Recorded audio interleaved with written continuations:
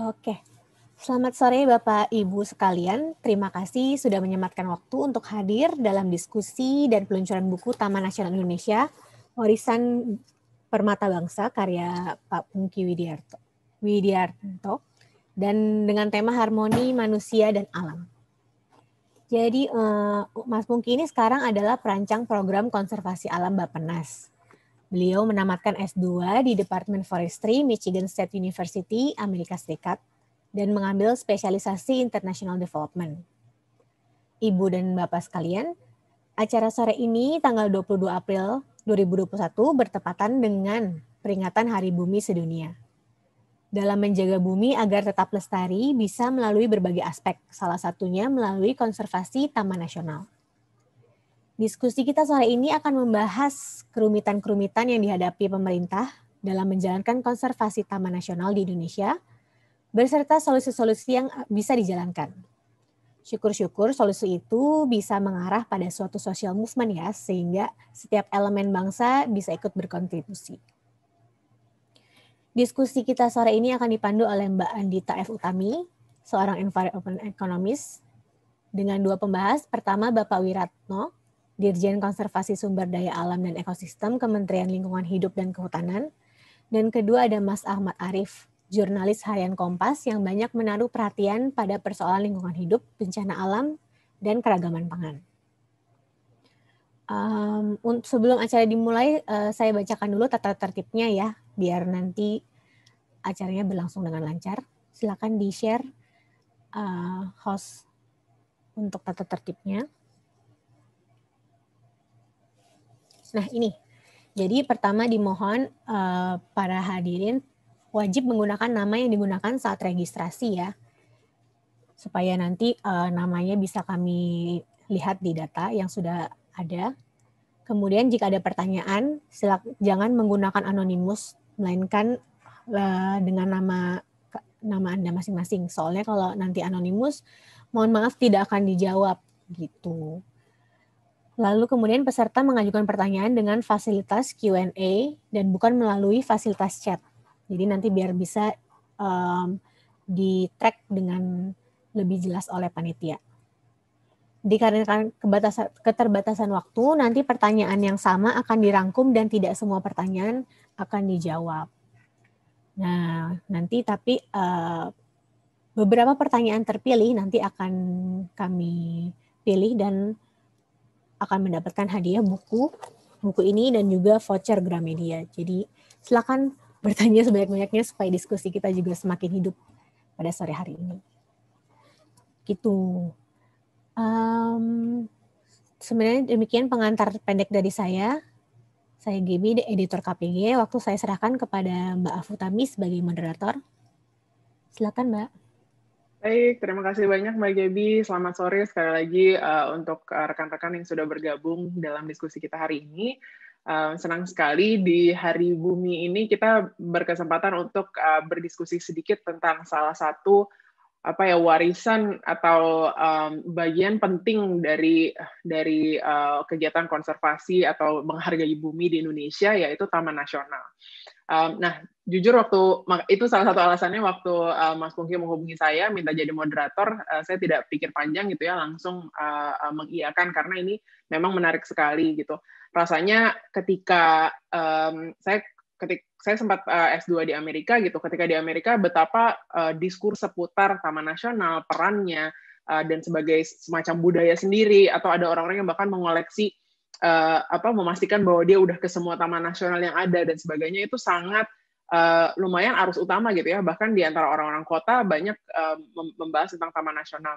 Tapi uh, mungkin uh, kecintaan yang sama untuk orang Indonesia masih bisa diarus utamakan. Ada memang uh, garis keras nih yang sangat uh, menghargai taman nasional pecinta alam sebagainya. Tapi mungkin karena pandemi ini ya mudah-mudahan lebih banyak orang juga uh, yang bisa menghargai dan uh, uh, semakin melihat nilai uh, dan mengenal Taman Nasional Indonesia ini.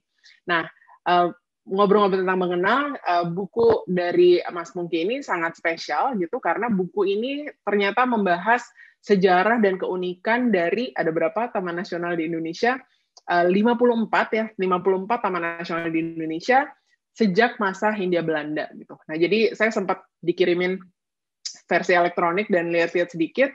Uh, menurut Mungki, sejak Indonesia merdeka itu sebenarnya baru pada tahun 1980-an pemerintah menaruh perhatian serius uh, terhadap sejumlah kawasan untuk dijadikan taman nasional gitu. Sampai jumlahnya ada 54 sampai sekarang. Uh, nah, tapi memang paradigma tentang bagaimana kita melihat uh, taman nasional itu, bagaimana kita menilai, bagaimana kita mempersepsikan masih belum banyak uh, berubah gitu, masih uh, uh, belum diikuti dengan perubahan mendasar dalam konsep atau paradigmanya. Uh, maka dari itu misalnya ada banyak uh, taman nasional yang masih berkelindan dengan persoalan kepemilikan lahan uh, atau berbagai peraturan yang justru memperumit masalah. Nah, dalam konteks inilah uh, buku Mas Mungki ini, sayangnya saya karena bacanya elektronik nggak bisa ngasih lihat gitu ya, tapi buku ini uh, sangat uh, penting gitu dan dan um, karena itulah buku Taman Nasional Indonesia Permata Warisan Bangsa ini perlu dan patut kita uh, bahas dan diskusikan bersama-sama. Nah, uh, dengan latar belakang tersebut, saya mau uh, bilang selamat datang sekali lagi kepada Mas Pungki selalu uh, selaku penulis uh, Pungki Widiaryanto dan kita juga kehadiran uh, nanti Bapak uh, Dirjen Konservasi Sumber Daya Alam dan Ekosistem dari Kementerian Lingkungan Hidup dan Kehutanan langsung, ini Pak Wiratno, uh, dan juga Mas Ahmad Arif atau yang sering dipanggil sebagai Mas Aik, yang adalah seorang jurnalis Kompas. Nah, uh, tanpa berlama-lama, saya langsung serahkan mungkin mikrofon virtualnya uh, kepada Mas Pungki untuk menyampaikan sambutannya terkait dengan buku ini. Baik, terima kasih uh, Mbak Afu atas kesempatannya uh, untuk mempresentasikan satu uh, beberapa slide terkait dengan buku saya ini. Coba saya minta izin dari oh, sudah bisa. Baik, kelihatan ya? Oke. Okay. Baik, saya full screen aja. Oke. Okay. Baik, terima kasih banyak tadi uh, Mbak Afu dan teman-teman dari penerbit KPG yang telah menyiapkan dan juga Mbak Afu yang telah memoderatori acara pada sore hari ini untuk memperingati Hari Bumi sekaligus untuk launching buku uh, buku saya terima kasih ini uh, tentang Taman Nasional Indonesia Permata Warisan Bangsa. Baik, uh, sebelumnya saya bagi yang belum kenal sih ini saya uh, perkenalkan nama saya Punggi tadi sudah disampaikan juga oleh Mbak Gebi dan Mbak Afu.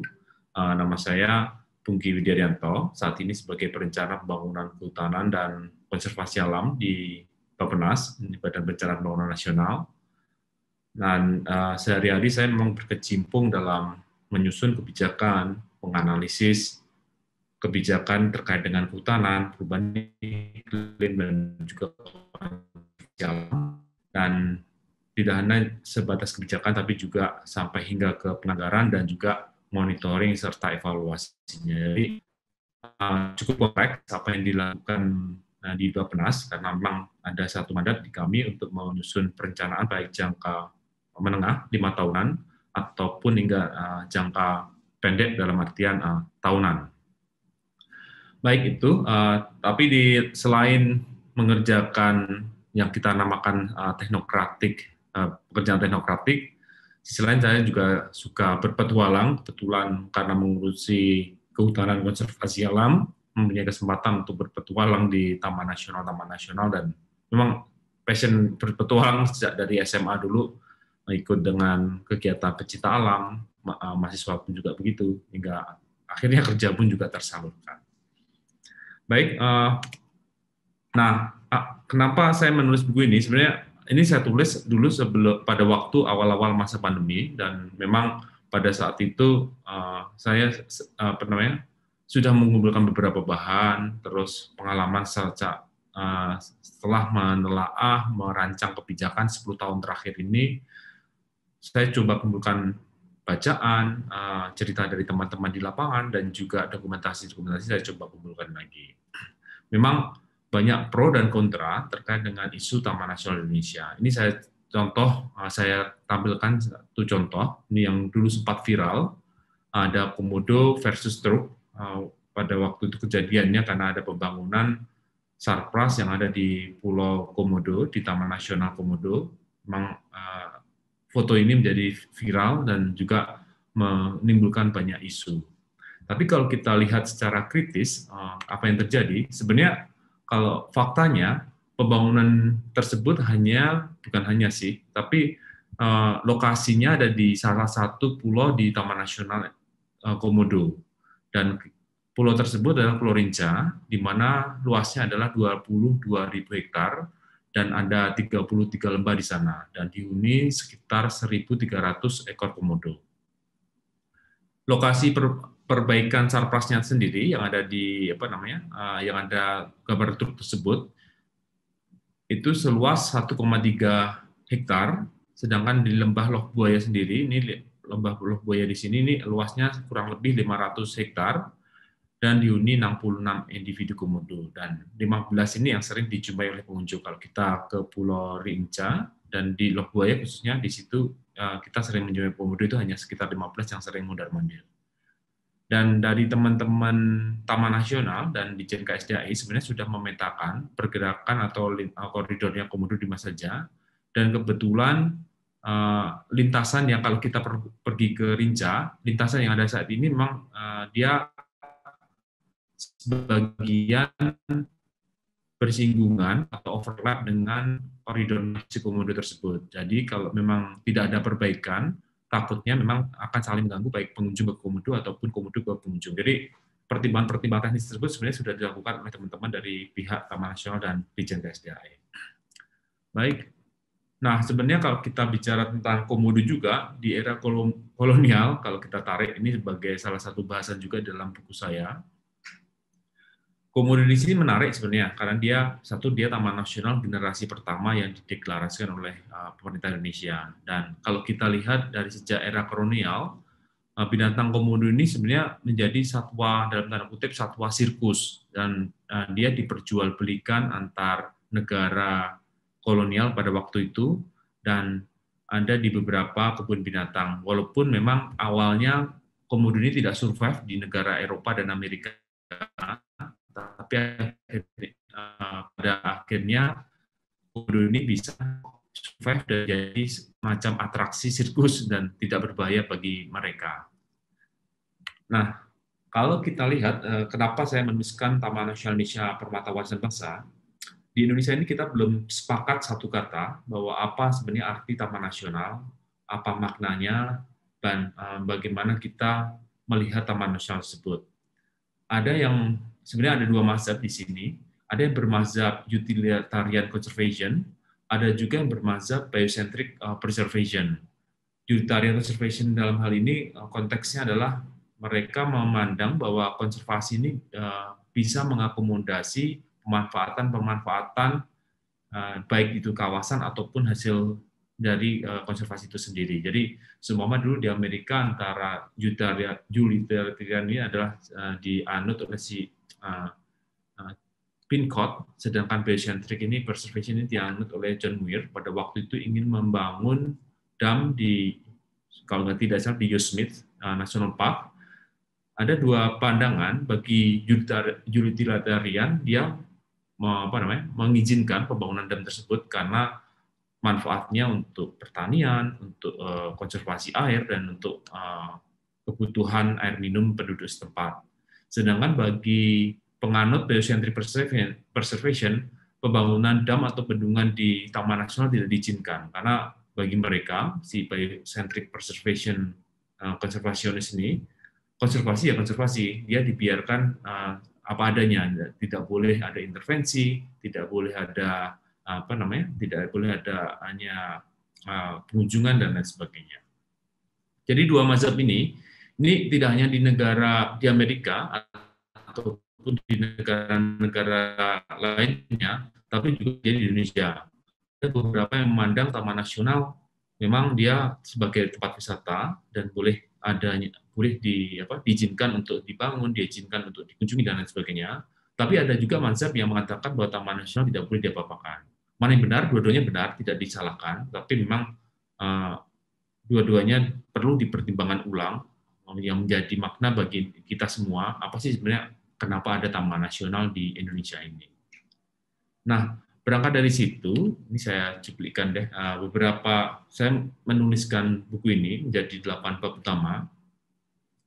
Yang pertama ini adalah terkait dengan asal-usul Taman Nasional sendiri. Lalu bab 2 hingga bab 7 ini saya pecah eh, beberapa riwayat Taman Nasional. Ini berdasarkan ecoregion kalau kita menyebutnya. Satu dari riwayat Taman Nasional Sumatera, yang kedua saya sebutnya Babat Taman Jawa, yang ketiga ini uh, Taman Kalimantan, lalu bab berikutnya uh, Legenda Taman Sulawesi, kisah Taman Bali Nusra, dan terakhir cerita Taman Maluku dan Papua. Dan di bab penutup, ini saya ringkas sedikit tentang Taman Nasional kita. Nah, di bab pertama ini terkait dengan asal-usul Taman Nasional, ini saya mengangkatnya, kalau kita bisa lihat di sini, mulai dari Indonesia, sebenarnya istilah Taman Nasional itu walaupun nomenklaturnya bukan Taman Nasional, tapi makna, kriteria, dan definisinya itu sudah ada sejak zaman kerajaan atau zaman Nusantara kita bilangnya. Contoh paling gampang kita temui adalah di ada dua, yaitu bukti nyatanya ada di Kerajaan Sriwijaya di Palembang, itu ada prasasti tulang tuo, atau juga kalau ada masih ada peninggalan-peninggalan hingga kini itu ada di, di kerajaan atau kesultanan Yogyakarta. Seperti kalau kita lihat ada Batu Kambing, Imogiri, Taman Sari, itu sebenarnya dulunya memang didesain sebagai Taman Nasional versi kita saat ini. Lalu uh, jika bekal Taman Nasional di Indonesia, ini terkait sebenarnya Belanda pada waktu itu India Belanda uh, ingin mengadopsi ide Taman Nasional. Jadi gini, Taman Nasional sendiri itu adalah ide dari Amerika dan pertama diciptakan oleh teman-teman dari Amerika, negara Amerika. Mereka menciptakan Taman Nasional dengan tujuan untuk destinasi wisata kemudian di Taman Nasional ini merebak ke berbagai negara pada saat itu, dan salah satunya Belanda di Eropa dan Belanda. Tetapi karena bagi Belanda eh, sebagai negara ya atau kerajaan yang lebih tua daripada Amerika, kalau Amerika kan sebenarnya dia eh, negara para imigran Eropa. Bagi Belanda, si ide Taman Nasional oleh Amerika ini tidak tanda kutip gengsi untuk mengakui kenapa negara baru ingin mempromosikan itu tersebut. Oleh karena itu negara-negara Eropa termasuk Belanda tidak mau menggunakan nomenklatur taman nasional walaupun idenya sama. Mereka memakai seperti nature monument dan uh, Wildernessstätten yaitu uh, natural uh, monumen alam ataupun suaka marga satwa. Nah, walaupun bukan namanya bukan taman nasional tapi idenya hampir sama. Nah, bagi Belanda sendiri karena dia Eh, wilayahnya di, di Eropa kecil, dia ingin membentuk taman nasional yang luas di negara jajahannya di India Belanda, yaitu di Nusantara di Indonesia ini. Dan saat itu eh, Belanda sendiri juga tidak mau menggunakan taman nasional, selain dengan alasan gengsi dengan Amerika. Yang kedua, Indonesia, eh, Belanda takut dengan pergerakan kemerdekaan Indonesia pada saat itu. Jadi kalau menyebut national park atau taman nasional berarti mengakui Eh, keberadaan Indonesia ya, karena ada kata nasionalnya. Nah, oleh karena itu eh, Belanda tidak menggunakan istilah taman nasional. Nah, istilah taman nasional walaupun kita sudah merdeka di tahun 45 belum juga digunakan dan baru ada eh, dideklarasikan itu belum ada ketetapan hukumnya itu pada 1980-an. Itu hanya sebatas deklarasi saja dari Menteri Pertanian saat itu karena kehutanan belum ada, masih di bawah pertanian Eh, mendeklarasikan adanya lima taman nasional, tapi dari segi hukum sebenarnya belum sah. Sah ada nomenklatur taman nasional itu ada di Undang-Undang 5 eh, tahun 90 yang saat ini sedang direvisi eh, di DPR juga. Nah itulah sekilas tentang taman nasional kita. Jadi cukup unik di Indonesia ini taman nasionalnya karena memang pembentukannya ini peta-peta yang digunakan sebagian besar ini peta-peta yang dulu dibuat oleh Belanda atau kolonial dan juga sebagian besar taman nasional di Indonesia ini uh, dibentuk karena adanya dalam tanda kutip intervensi organisasi-organisasi internasional khususnya LSM-LSM internasional. Karena pada waktu itu Indonesia memang belum konsen benar terhadap ide-ide taman nasional. Tapi nggak apa-apa maksudnya sambil belajar Indonesia uh, terus kita perbaiki uh, mengapa kita membutuhkan taman nasional Baik itu uh, sekilas tentang kenapa kita membutuhkan taman nasional memang uh, cukup kompleks. Makanya ini saya di per Taman Nasional Indonesia ke 54 Taman Nasional Indonesia itu cukup kompleks dan mempunyai permasalahan sendiri-sendiri uh, dan juga mempunyai sejarah masing-masing. Nah ini uh, yang kedua, maksudnya tadi kalau kita lihat ini bab 1, 2, 3, ini ada bab 4 di Kalimantan, Sulawesi, dan uh, Bali Barat, dan juga Maluku, uh, Papua. Dan akhir ada di Taman Nasional kita. Baik, Mbak Afu, mungkin uh, ini penutup saja. Nah, ini seperti yang saya kutip juga dari Taman Nasional kita, intinya ini sebuah tuas dari Sang Pencipta, meski kita tak pernah satu kata, mari gotong royong untuk semesta. Itu aja Mbak Fu, terima kasih. Nanti kita diskusi lebih lanjut. Siap, terima kasih banyak Mas Pungki. Ini sangat-sangat menarik. Uh, saya secara personal sebenarnya sangat suka sejarah gitu ya, dan jadi buku ini semacam memberikan uh, konteks sejarah dari bagaimana Taman Nasional itu seperti yang kita ada sekarang gitu ya uh, tadi belajar banyak tentang uh, paradigma yang utilitarian versus yang satu lagi apa tadi namanya mas? Biocentric, biocentric. Yang biocentric. Mm -hmm. uh, dan dan bagaimana juga pada masa Hindia Belanda ada pertimbangan-pertimbangan politik atas penamaan uh, atau penyebutan Taman Nasional itu menarik sekali. Uh, nah, aku mau tanya Mas Mungkin sendiri ini dari 54-nya udah ke semuanya berarti? Belum, belum semuanya, uh, oh. hampir semuanya, tapi belum semuanya. Cuma uh, pada se, apa namanya 10 tahun ini karena sering bertem, uh, bukan bertem, apa namanya istilahnya menelaah kalau istilah di kami di pemerintah menelaah itu dalam artian mereview program dan anggarannya teman-teman Taman Nasional jadi sedikit banyak kalau menelaah menanyai tentang Taman Nasional dan lain sebagainya jadi tahu gambaran ini. Mantap. Ada angkanya nggak Mas berapa nih dari dari 54 yang sudah dikunjungi langsung kira-kira? karena ada yang gabung kan ya, nah, itu sekitar 40-an hmm. sih Mbak. Wow, luar biasa. luar biasa banget. Saya kayaknya bisa dihitung jari, mungkin cuma uh, berapa ya nih harus harus setelah pandemi mungkin harus di, dikejar uh, biar banyak yang bisa dikunjungi. Iya, saya agak kaget juga tadi uh, di waktu saya membaca uh, bukunya Mas Mungkin ini juga kan disebutkan bahwa tradisi Taman Nasional atau sebagai konsep itu kan juga di Amerika Serikat ya uh, uh, awal mulanya gitu. Terus saya sempat cari tahu juga kalau di Amerika Serikat ternyata jumlah taman nasional itu 400 lebih ya. Banyak. Tersebar di banyak sekali gitu. Padahal saya udah ke beberapa yang besar yang terkenal gitu, tapi oh ternyata banyak sekali uh, gitu. Mungkin uh, di, berarti 54 itu belum banyak sebenarnya gitu yang saya tangkap. Jadi mungkin bisa ditingkatkan lebih lanjut. Uh, menarik sekali banyak banyak belajar uh, konteks sejarahnya uh, dan teman-teman ya silakan bukunya bisa dipesan nanti uh, kalau ingin tahu lebih lanjut.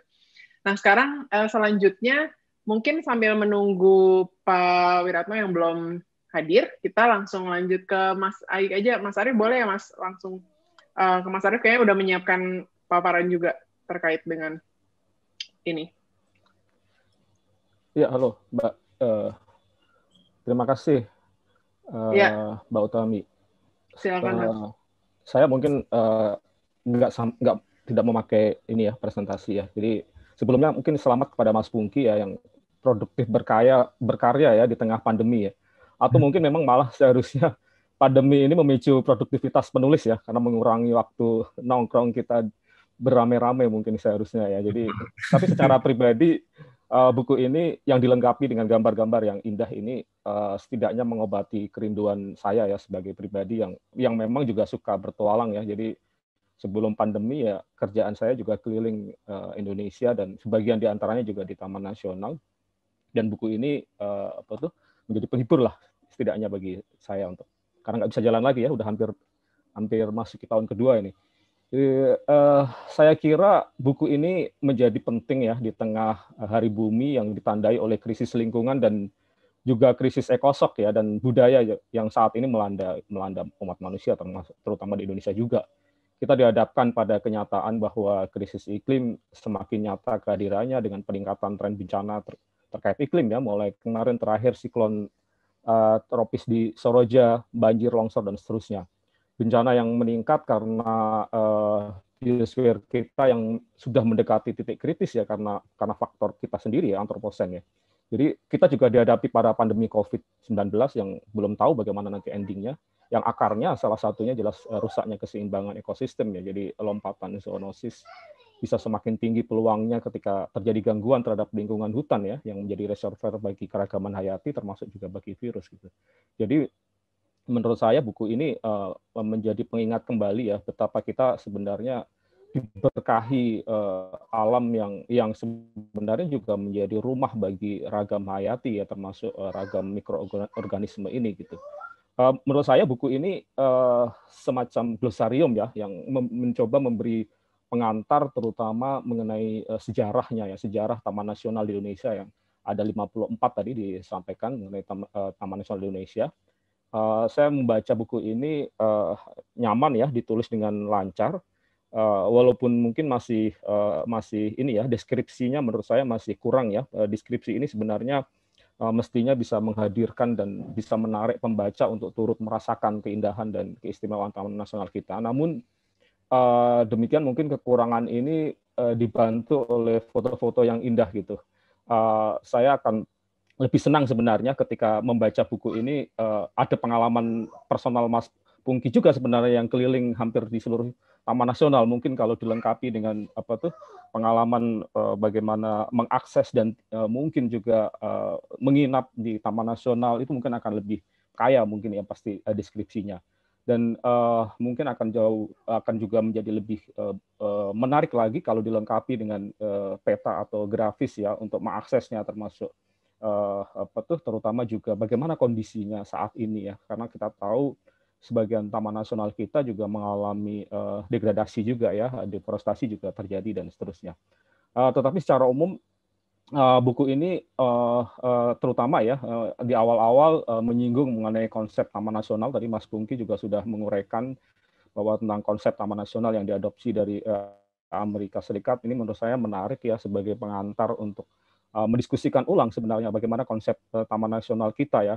Walaupun uh, ini sebenarnya masih bisa dielaborasi lebih uh, lanjut ya uh, mengenai ini ya. Karena uh, selama ini mungkin banyak yang belum tahu mengenai hal ini dan uh, bagaimana kemudian konsekuensinya ya Pak. Bukan hanya pada uh, aspek konservasi tetapi juga uh, uh, aspek human terutama orang atau masyarakat uh, lokal atau masyarakat adat yang ada di uh, beberapa yang berimpitan dengan uh, sebagian taman nasional kita. Dan uh, terutama juga menjadi sangat penting Eh, karena kita saat ini menghadapi uh, kenyataan ya bahwa, bahwa uh, seperti yang saya sampaikan tadi adanya uh, uh, degradasi juga di sejumlah uh, taman nasional.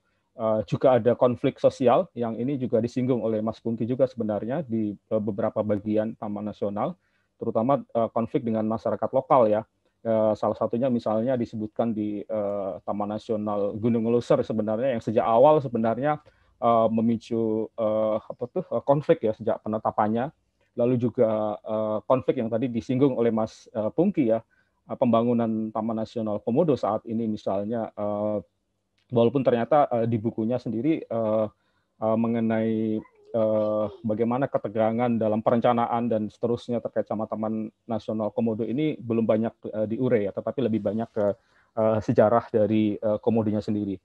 Tetapi menurut saya memang uh, beberapa uh, baik yang disampaikan tadi Mas Pungki maupun yang ditulis dalam buku ini uh, ini menjadi uh, uh, uh, ya, pendorong yang penting ya untuk mendiskusikan ulang mengenai uh, konsep taman nasional kita yang seharusnya memang tidak hanya menjadi ruang bagi konservasi tetapi juga keberlanjutan ruang hidup masyarakat lokal ya terutama masyarakat adat yang yang ada di uh, di sekitar atau di bahkan di dalam taman nasional gitu. Saya pernah misalnya ke taman nasional di uh, Kerinci Seblat ya yang uh, jauh harus jalan kaki sampai uh, satu harian ya. Uh, di dalamnya ternyata ada masyarakat yang tinggal di desa Renah Kemumu yang uh, mereka uh, apa tuh uh, udah tinggal selama ratusan tahun dan bergenerasi di sana uh, dalam hal ini menurut saya kita mungkin harus uh, uh, ini bisa menjadi ini ya uh, pengantar untuk kita belajar juga uh, dari negara lain seperti Thailand dan Costa Rica misalnya di mana daerah-daerah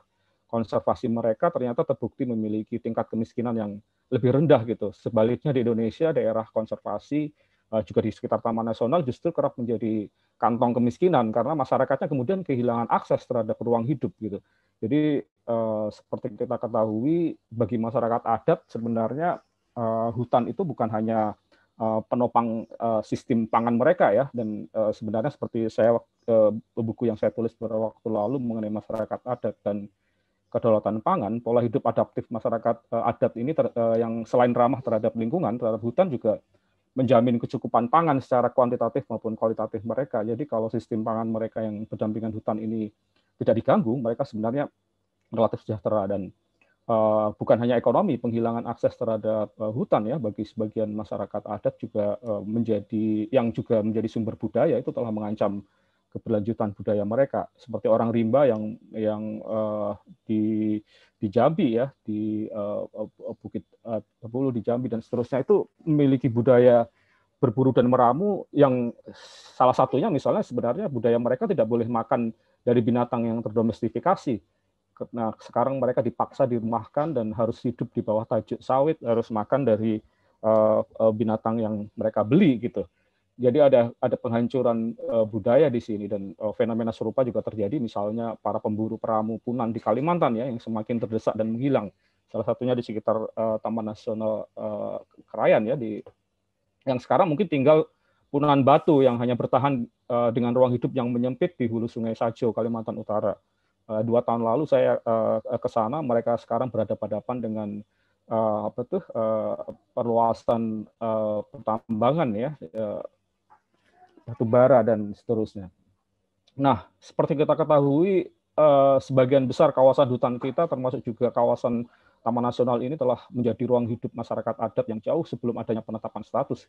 Ini menurut eh, saya perlu jadi bahan diskusi lebih intens di tengah semakin kuatnya tuntutan perubahan paradigma pembangunan ya. Sebenarnya jangan hanya lagi berorientasi pada pertumbuhan ekonomi, bahkan uh, uh, uh, apa tuh uh, hanya bertumpu pada konservasi juga dianggap tidak cukup, tetapi juga harus memperhitungkan keberlanjutan ruang hidup ya dan kesejahteraan serta terutama yang sangat fundamental adalah pemerataan gitu.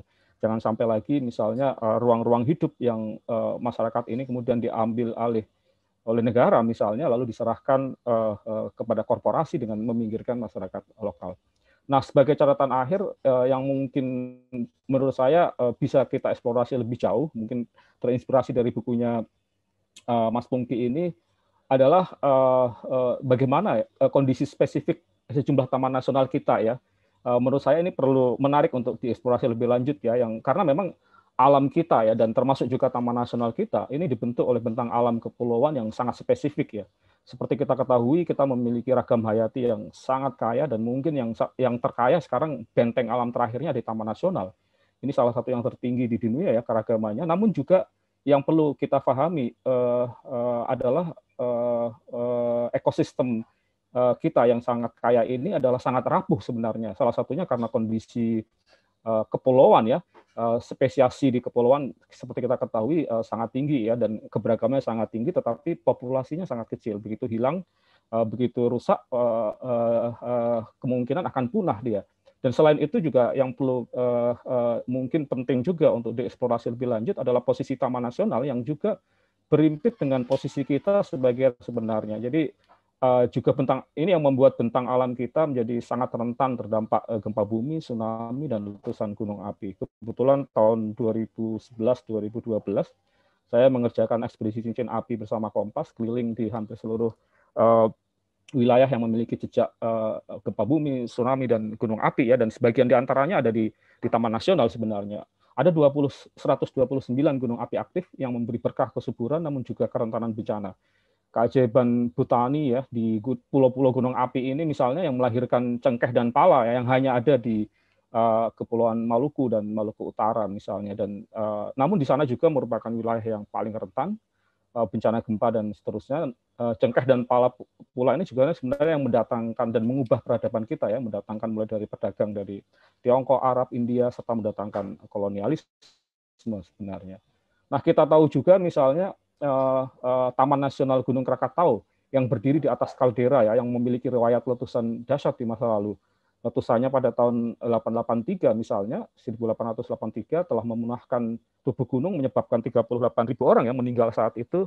Namun juga yang menarik adalah menghilangkan flora dan fauna di sana. Lalu perlahan muncul kembali seiring munculnya anak Krakatau dari kekosongan ya sebenarnya. Uh, muncul suksesi ekologi gitu, flora dan fauna muncul kembali yang kemudian Eh, berulang kali hilang kembali, muncul kembali dalam erupsi 2018 lalu misalnya seluruh anak Krakatau uh, hilang. Sekarang mulai muncul lagi misalnya dan ini bagi kalangan ilmu pengetahuan ya ilmuwan ya, terutama ilmuwan biologi. Krakatau atau anak Krakatau ini adalah sumber pengetahuan terbaik sebenarnya untuk memahami suksesi ekologi di kawasan tropis gitu. Di sana kita bisa melihat munculnya kehidupan dari yang paling dasar sampai kemudian ekosistem yang mulai semakin kompleks sebelum kemudian hilang lagi dan beberapa ahli biologi menyetarakan uh, anak Krakatau ini uh, seperti Galapagos ya bahkan ya sebagai museum bagi evolusi alam gitu. Jadi Taman Nasional ini juga menyimpan pengetahuan yang luar biasa sebenarnya di Indonesia ini dan sayangnya memang sering kali uh, lebih banyak orang luar yang memanfaatkannya gitu. Saya uh, masih teringat pertemuan dengan ahli suksesi Krakatau kita. Satu-satunya mungkin ya sampai sekarang belum ada penerusnya Profesor Tukirin dari LIPI ya yang sudah uh, pensiun kalau nggak salah beliau. Dan belum ada penggantinya. Uh, saya waktu itu jalan bareng uh, dipandu oleh beliau menyusuri anak Krakatau. Selama 30 tahun dia meneliti di sana kebanyakan menebeng dari peneliti dari luar gitu uh, karena penelitiannya uh, uh, apa tuh uh, kebanyakan tidak disupport ya. Karena penelitian-penelitian dasar seperti ini sering kali di Indonesia masih sangat minim dukungannya. Ada banyak contoh bahwa sebenarnya uh, uh, ada nilai yang lebih dari dari taman nasional yang bukan hanya sekedar keindahan atau mungkin hanya untuk wisata tetapi juga selain pengetahuan juga bahkan juga sebenarnya Eh, bisa menjadi komoditas eh, sangat penting dalam arti yang yang nggak harus eksploitatif ya. Misalnya dan sayangnya eh, seperti yang saya sampaikan tadi sering kali yang memanfaatkan orang luar ya mungkin ada contoh yang sering kali jadi diskusi juga dari teman-teman biologi misalnya anggrek Dendrobium pompadour ya yang menjadi komoditas salah satu komoditas paling terkenal dari industri anggrek di Thailand ternyata dari pulau-pulau sekitar Sumbawa jadi contoh lain misalnya tahun 2018 lalu ada peneliti Australia yang mempublikasikan temuan tentang jenis pisang Cavendish yang tahan fusarium. Uh, ternyata varian tanaman itu dikembangkan dari gen pisang liar di Sumatera gitu ya, ya yaitu Musa acuminata malakensis gitu. Jadi uh, dari uh, sumber hayati kita, kita juga bagaimana kita melihat potensi sumber obat-obatan dari apa tuh uh, dari hutan kita gitu. Ini mungkin ruang-ruang yang bisa dieksplorasi lebih jauh dari hutan-hutan kita termasuk uh, taman nasional kita selain kecenderungan jalan pintas yang mencari uang cash bagi hutan dengan ekstraksi kayu dan sejenisnya. Dan uh, sebagai kata terakhir uh, saya sekali lagi berterima kasih kepada Mas Bungki dan menurut saya buku ini uh, layak dibaca ya bagi uh, masyarakat setidaknya untuk menjadi pengantar untuk memahami dan menghargai uh, Taman Nasional yang menjadi benteng terakhir dari uh, keberagaman hayati kita. Terima kasih, Mbak. Mungkin nanti kita lanjut ke diskusi. Baik, terima kasih banyak uh, Mas Ai atas komentarnya sangat-sangat uh, kritis, sangat-sangat uh, mendalam dan dan disampaikan dengan memang kalau penulis, kalau jurnalis gitu ya bahasa yang yang uh, luar biasa menggugah. Terima kasih banyak uh, Mas Ai. Saya mau mengucapkan dulu sebelumnya selamat datang kepada Pak Wir, kepada Pak Wiratno. Uh, selamat datang Pak. Sudah kami nanti-nantikan kehadirannya. Terima kasih, Mbak. Senang sekali. Mbak. Sorry agak terlambat, sorry. Tidak masalah, Pak. Ya, yeah. senang sekali Pak Wiratno bisa bergabung dalam diskusi hari ini uh, dalam semangat Hari Bumi juga ini Pak. Uh, yeah. Kami dari tadi uh, sudah sempat uh, membahas sedikit uh, bukunya Mas Pungki yang yang membahas tentang 54 taman nasional di Indonesia, kemudian sudah sempat dikomentari juga uh, oleh Mas Aik uh, uh, terkait dengan uh, hubungannya dengan manusia-manusia atau komunitas masyarakat yang tinggal di sekitarnya itu seperti apa. Uh, nah, untuk selanjutnya mungkin kami ingin undang uh, Pak Wiratno untuk uh, kemudian menyampaikan papar, paparan kah Pak atau uh, disampaikan secara langsung saja terkait oh, dengan paradigma. Aja, ya. Ini Boleh pesertanya siapa? berapa ya? Uh, cukup ramai Pak, hampir 60 uh, hampir 70. Di YouTube ya? Ada Atau di YouTube di, juga. Di Zoom ya? Di Zoom 70, di YouTube ada juga saya belum lihat sih. Mungkin di YouTube ada lagi. Iya, iya. Baik. Baik. Uh, iya, silakan Pak. Nah, saya kira uh, saya pertama menyampaikan selamat. Ini adik saya Bungki ya, uh, tidak mudah menulis buku. Uh, saya mulai menulis buku tentang Taman Nasional tahun 2000 dan sekarang mungkin sudah atau 12 atau 13 buku saya pengalaman lapangan. Uh, uh, saya kira uh, semangatnya biasa anak muda, semangatnya ambisius ya. 54 Taman Nasional ya. Ini bagus ya untuk pengantar tadi Mas siapa? Mas Arif ya. mengatakan ini bagus untuk pengantar. Buku saya nggak pernah masuk Gramedia, nggak tahu. Ya, uh, saya belum pernah mencoba diterbitkan oleh Gramedia uh, dan ini saya kira pengantar penting untuk mereka yang uh, tertarik dengan alam liar. Alam liar ini sangat penting. Ya, walaupun dia mengatakan di analisis ini uh, pertama memang sebagian itu warisan zaman Belanda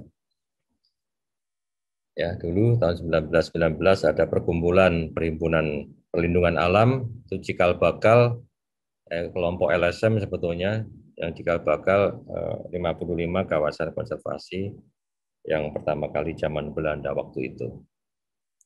Hmm.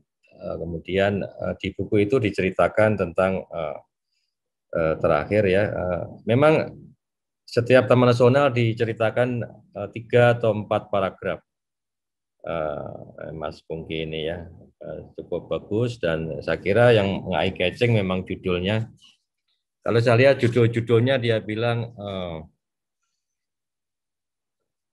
misalkan Sentarum Danau Ikan Arwana misalkan ya. Kayak Mentarang rumah suku Dayak memang kayak Mentarang itu rumahnya 11 suku Dayak besar di sana. Nah, Eh, yang menarik juga dia menyentil tentang uh, kita harus mencari identitas ngurus Taman Nasional versi Indonesia. Betul itu. Memang dulu memang uh, Eropa, kutub Eropa, kutub Amerika ya. Ya. Ada bukunya John Muir ini, bukunya John Muir ini juga menarik. Saya terakhir menulis tentang uh, 15 tahun tulisan saya ini 800 halaman kira-kira 15 tahun kemudian eh, nanti salah satu itu kalau dibedah ini menjadi buku Tambora ini yang ditulis oleh teman-teman eh, di Taman Nasional Tambora. Ini kurang Taman Nasional nih ya. Jadi sebetulnya eh, Pungki mengantarkan kepada publik eh, pentingnya Taman Nasional itu dan sedikit tentang historis dan nilai penting kawasan itu. Eh, kalau Amerika mulai dari wisata, Taman Nasional untuk wisata, ya kita sebetulnya Taman Nasional kita sedang mencari bentuk, tapi dengan model kelola yang saya kembangkan itu di Taman Nasional itu di kawasan konservasi kita punya 27 juta hektar ya kawasan konservasi 16 jutanya kira-kira Taman Nasional uh, dikelilingi oleh 6.000 700 desa yang berbatasan langsung dengan kawasan konservasi itu ya dan eh, kira-kira eh, 9,5 juta eh, jiwa yang tergantung pada kawasan konservasi itu. eh, dan eh, ada eh, tentu kawasan konservasi hutan kita bukan kertas putih maka ada interaksi yang lama tentang masyarakat eh, juga binatang pasti walaupun binatang itu eh, saudara tua kita karena dia diciptakan Tuhan lebih dulu. Eh, sebelum binatang ada jasad renik, tumbuhan rendah dan sebagainya di masa masa pembentukan bumi ya miliaran tahun yang lalu ya. Komodo yang kita selamatkan di Taman Nasional Komodo itu adalah binatang purba kemungkinan besar memang eh, wilayah NTT itu menyatu dengan Australia kalau ditemukan fosil komodo di Australia ya. Dia binatang purba 400 ribu tahun yang lalu. Sekarang kita punya riset 17 tahun oleh orang Indonesia, Mas. Tadi dikatakan memang banyak riset orang asing. Karena di negara utara itu nggak punya resources mereka. Kita yang punya. Oleh karena itu dengan segala cara mereka melakukan yang problem uh, bioforestry dan pencurian macam-macam itu karena kita yang punya ya dan hasil-hasil riset saya um, ini ditulis uh, catatan anggrek lembah lembah Moi misalkan. Ini juga uh, tulisan teman-teman OPT. Memang selama tiga tahun terakhir para kepala balai saya minta untuk menulis ya apa yang uh, mereka punya di dalam rumah mereka. Rumah mereka itu Taman Nasional atau Cagar Alam atau Suaka Marga Satwa. Problem kita memang uh, memang belum diolah Mas Pungki itu ada yang Taman Nasional bekas HPH, misalkan uh, Wekambas. Wekambas itu bekas HPH, ya, dan dia sedang tumbuh sekarang hutan baru dan itu nilai nilai sayangnya penting karena kita kita ingin tahu sebetulnya kalau hutan tropis itu tumbuh kembali diperlukan berapa tahun kira-kira? Kalau Profesor eh, Dr. Koswata yang riset mempunyai plot permanen di Leuser di Besitang, saya pernah menjadi kepala balai di sana tiga tahun, era 2005 sampai 2007. Dia mengatakan hasil riset itu simulasi modelingnya 400 tahun kira-kira. Hutan tropis itu akan balik kembali kalau tidak diganggu atau tidak terganggu oleh manusia antropogenik termasuk oleh api. Jadi sebetulnya banyak pakar mengatakan hutan tropis di dunia ini non renewable resources, bukan sumber daya yang sumber daya yang tidak bisa diperbarui seperti minyak bumi dan mineral yang menciptakan Tuhan melalui proses geologi. Ya, jadi jadi harus hati-hati di dalam ngurus hutan tropis ini. Ya, hutan hujan tropis uh, Indonesia. Kawasan konservasi 27 juta itu yang kira-kira yang 5 jutanya itu kawasan perairan. Kalau teman-teman semua yang hadir di acara ini uh, uh, pernah ke Wakatobi itu itu luar biasa uh, hebatnya ya sumber daya laut di wilayah Wales itu termasuk Takabonerate, kemudian Labengki, lalu Teluk Cendrawasih, ya semuanya itu kawasan-kawasan konservasi di wilayah yang disebut sebagai uh, Coral Triangle, segitiga karang dunia, Global Coral Triangle, dari wilayah Sulawesi sampai ke timur, Papua sampai ke Pulau Solomon. Ya, itu wilayah lautan kita yang relatif bersih, bersih, termasuk Komodo, Taman Nasional Komodo di bawah, ya itu relatif bersih, Eh, dan eh, pergerakan eh, karenya apa perputaran lautnya luar biasa kencang sehingga banyak menghasilkan makanan yang melimpah dan ikan merupakan sumber daya selain karang ya. Nah kita menurut saya kembali ke buku ini ini buku ini saya posisikan sebagai pintu masuk anak-anak muda mungkin karena dijual di Gramedia mudah mengakses ya pintu masuk untuk mengetahui lebih dalam tentang Taman Nasional. Kalau orang-orang muda sekarang ya, terutama para pecinta pendaki gunung pasti tahu Rinjani, Merapi, Merbabu, Kerinci, dan seterusnya. Ya, yang disampaikan Mas Arief tadi ya tentang Krakatau, ya staf kita kita memang mempunyai mempunyai mbahnya Krakatau itu Profesor Tukirin yang disampaikan tadi ya yang bukunya belum sempat saya terbitkan. Ya, monitoring beliau selama 30 tahun, recovery eh, Krakatau eh, dan eh, ketika tsunami kemarin eh, kembali semuanya luluh lantak dan sekarang setiap minggu dipantau oleh staf saya untuk monitoring eh, dan saya memantaunya lebih mudah sekarang karena record mereka ada di di Instagram sehingga saya memantau perkembangan di sana. Ya, dan uh, bioprospecting kita sedang kita kembangkan. Kalau di Teluk Kupang, saya 2013 sudah mengembangkan bersama Undip, satu dokter kelautan di Undip, yaitu soft coral untuk anti cancer. Di Ciremai ditemukan tiga bakteria mikroba yang uh, anti frost untuk sayuran di puncak gunung, di daerah-daerah dingin, untuk percepatan pertumbuhan akar, dan untuk anti hama. Nah, oleh karena itu kawasan konservasi kita itu sungguh luar biasa aset untuk saya kira ke depan bioprospecting itu itu kita kita ragukan. Staf saya yang menjadi dokter di Merapi menemukan 70 jenis tumbuhan bawah di lereng Merapi yang dia ekstrak dan menemukan banyak sekali rumput Merapi yang mempunyai antioksidan sangat tinggi. Dan kemungkinan-kemungkinan uh, industri farmasi sangat besar sekali di kita dan itu semua dari the wilderness area alam liar kita yang antara lain ada di Taman Nasional di Cagar Alam dan bahkan di hutan-hutan lindung di alam liar, alam yang masih liar yang tidak ada intervensi manusia. Ya, Bukit 30, Taman Nasional Bukit 30, saya yang menggambarkan peta Mas Pungki.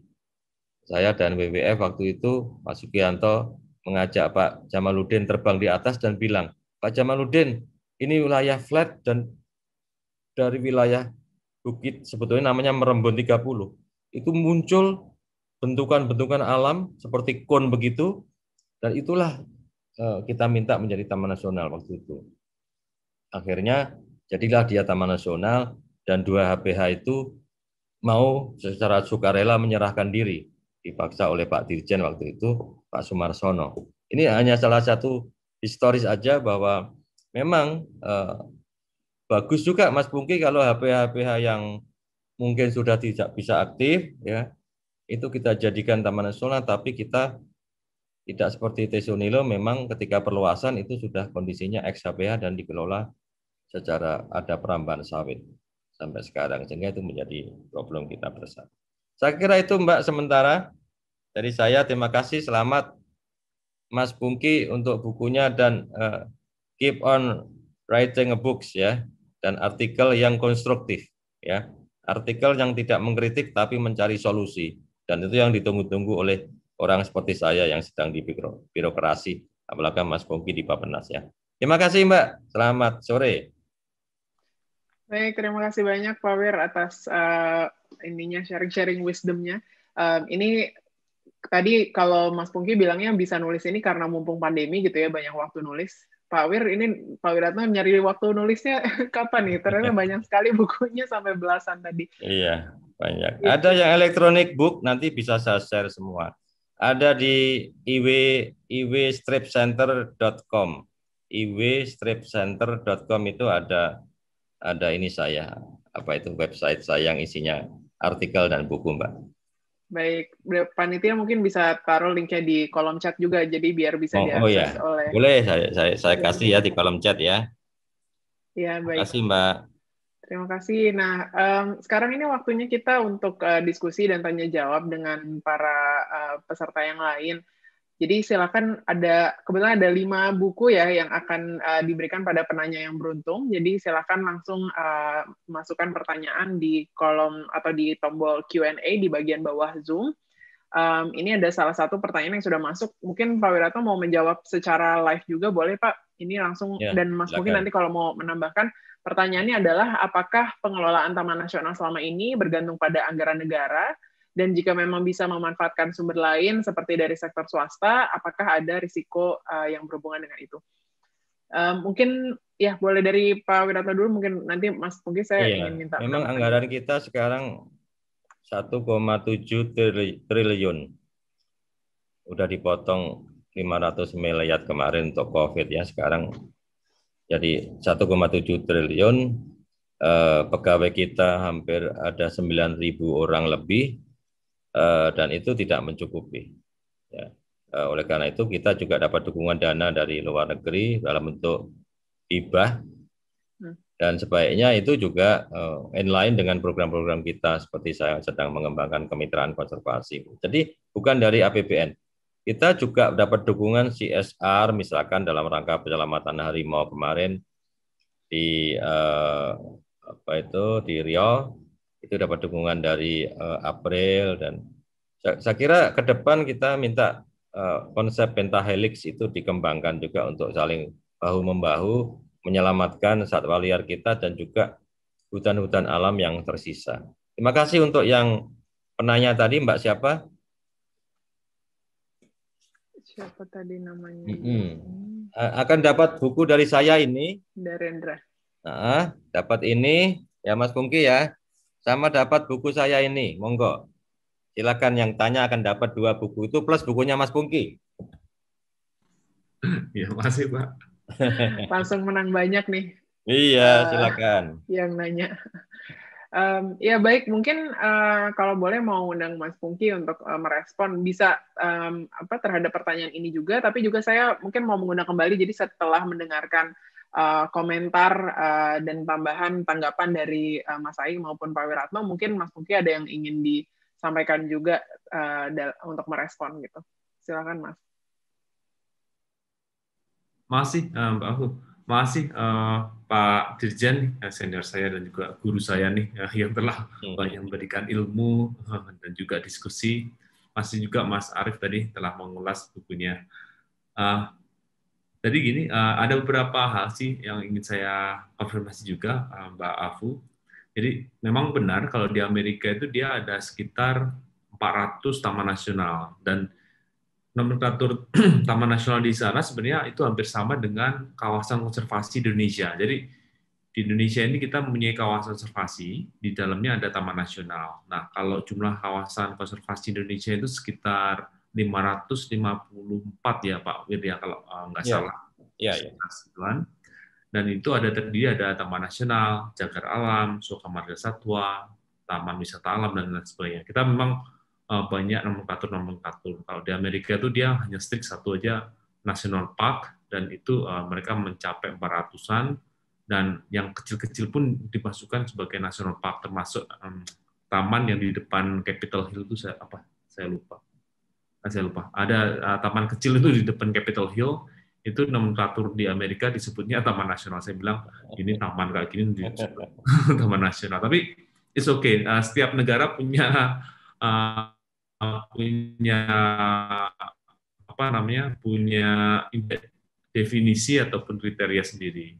Dan dulu pernah juga teman kami uh, melakukan survei menyebut taman nasional uh, disurvei ke masyarakat umum.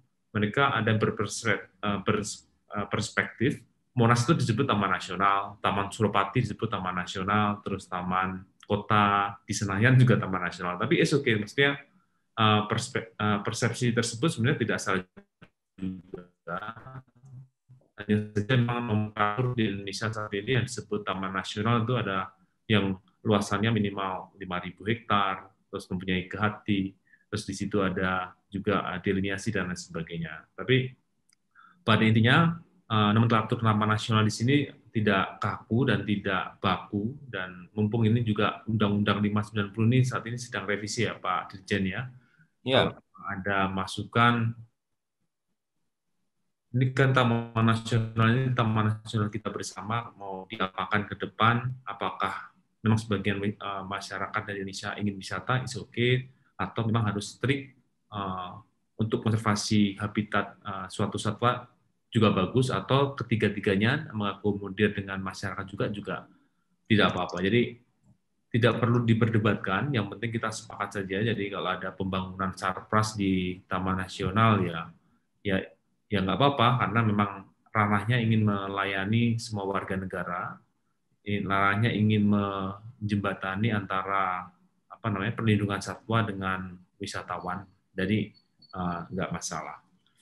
Lalu terkait dengan pertanyaannya Mas Darindra, Mas Darindra ini, selamat sore Mas Darindra ini kawan saya juga.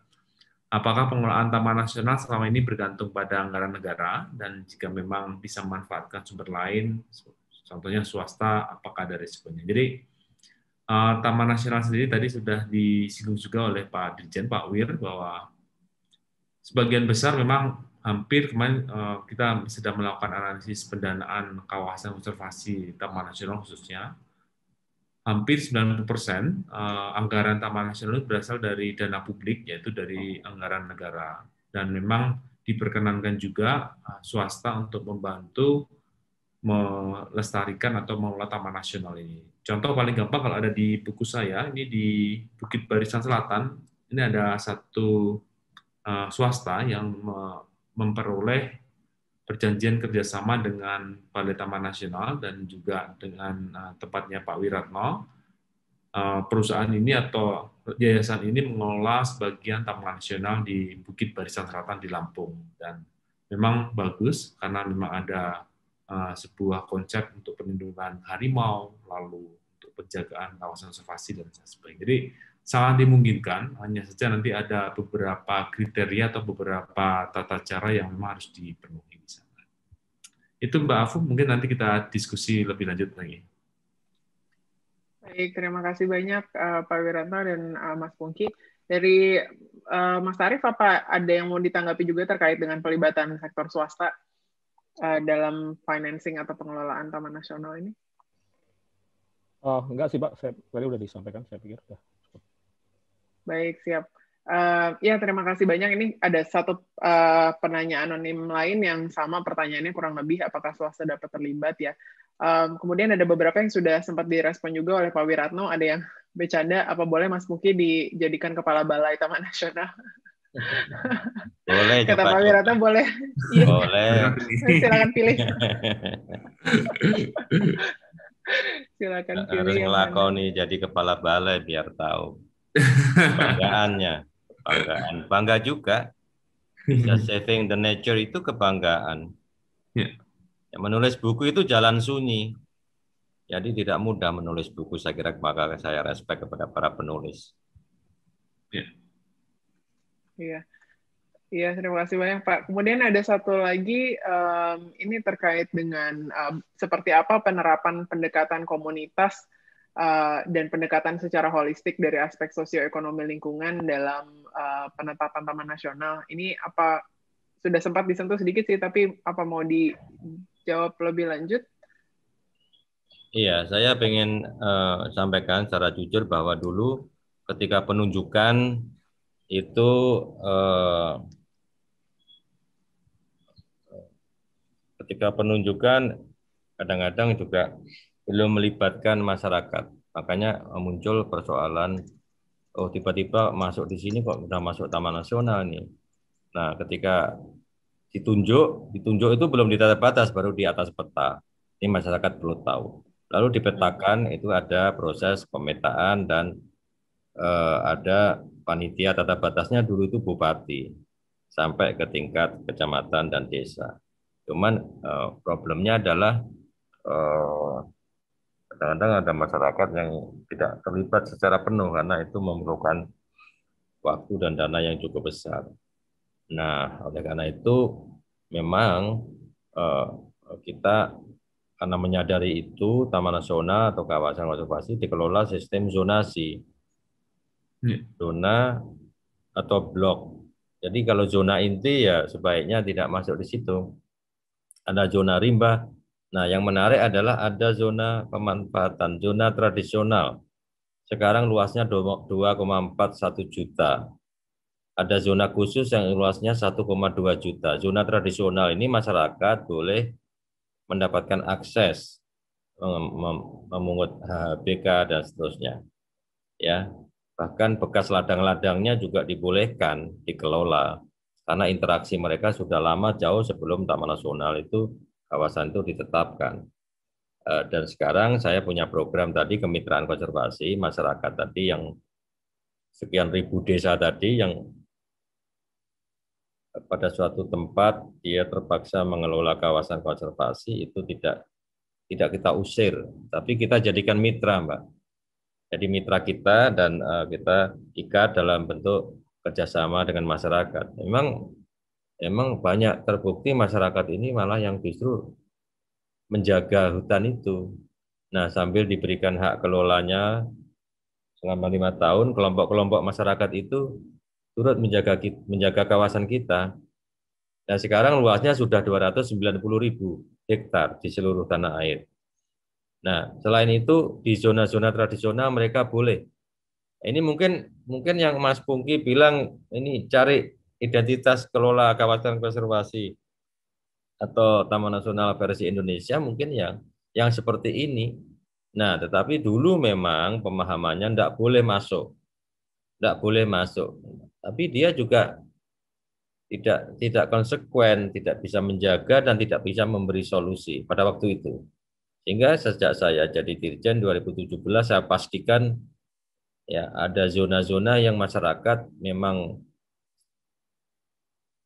memiliki akses dan tergantung hidupnya tergantung pada kawasan itu di dalam Taman Nasional itu. Dan zona-zona religi, zona budaya, pura-pura di Alas Purwo dan di mana-mana kita lindungi karena itu salah satu sejarah. Jadi tadi Mas Arif menyatakan bahwa Taman Nasional itu bukan sekedar biodiversity, tapi dia juga ada interaksi budaya dan historis yang panjang. Dan itulah Indonesia dengan keragaman etnik, kita coba mencari cara-cara yang tepat agar manfaat itu juga dirasakan langsung oleh masyarakat di sekitar atau bahkan yang ada di dalam. Seperti suku uh, uh, apa itu uh, Tolindu di Tolindu itu di uh, Lorelindu ya dengan Tatoro dan Moa masyarakat asli yang masih ada di sana dan di dalam Taman Nasional itu, ya itu kita lindungi dan kita jadikan mitra. Saya kira itu yang bisa saya sampaikan ya sebagai salah satu ini jawaban dari mengenai penetapan proses penetapan.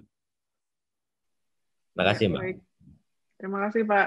Mudah-mudahan ini uh, menjawab pertanyaan uh, Mbak tadi yang bertanya. Fitri.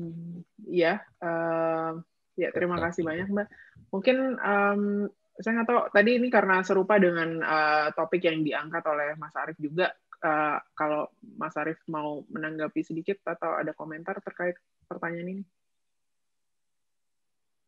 Ya, uh, tadi sebenarnya udah disampaikan Pak Wiratno ya. Jadi saya uh, turut senang gitu dengan uh, adanya pergeseran uh, tadi ya perspektif dan menurut saya saya setuju mungkin kalau kita eksplorasi lebih lanjut ya mungkin bisa jadi konsep taman nasional yang khas Indonesia gitu yang mungkin tidak iya. hanya uh, melihat uh, bahwa ini untuk tempat konservasi gitu uh, tetapi adalah juga ruang hidup terutama memang taman-taman nasional yang yang dari dulunya menjadi ruang ulayat juga bagi masyarakat adat gitu.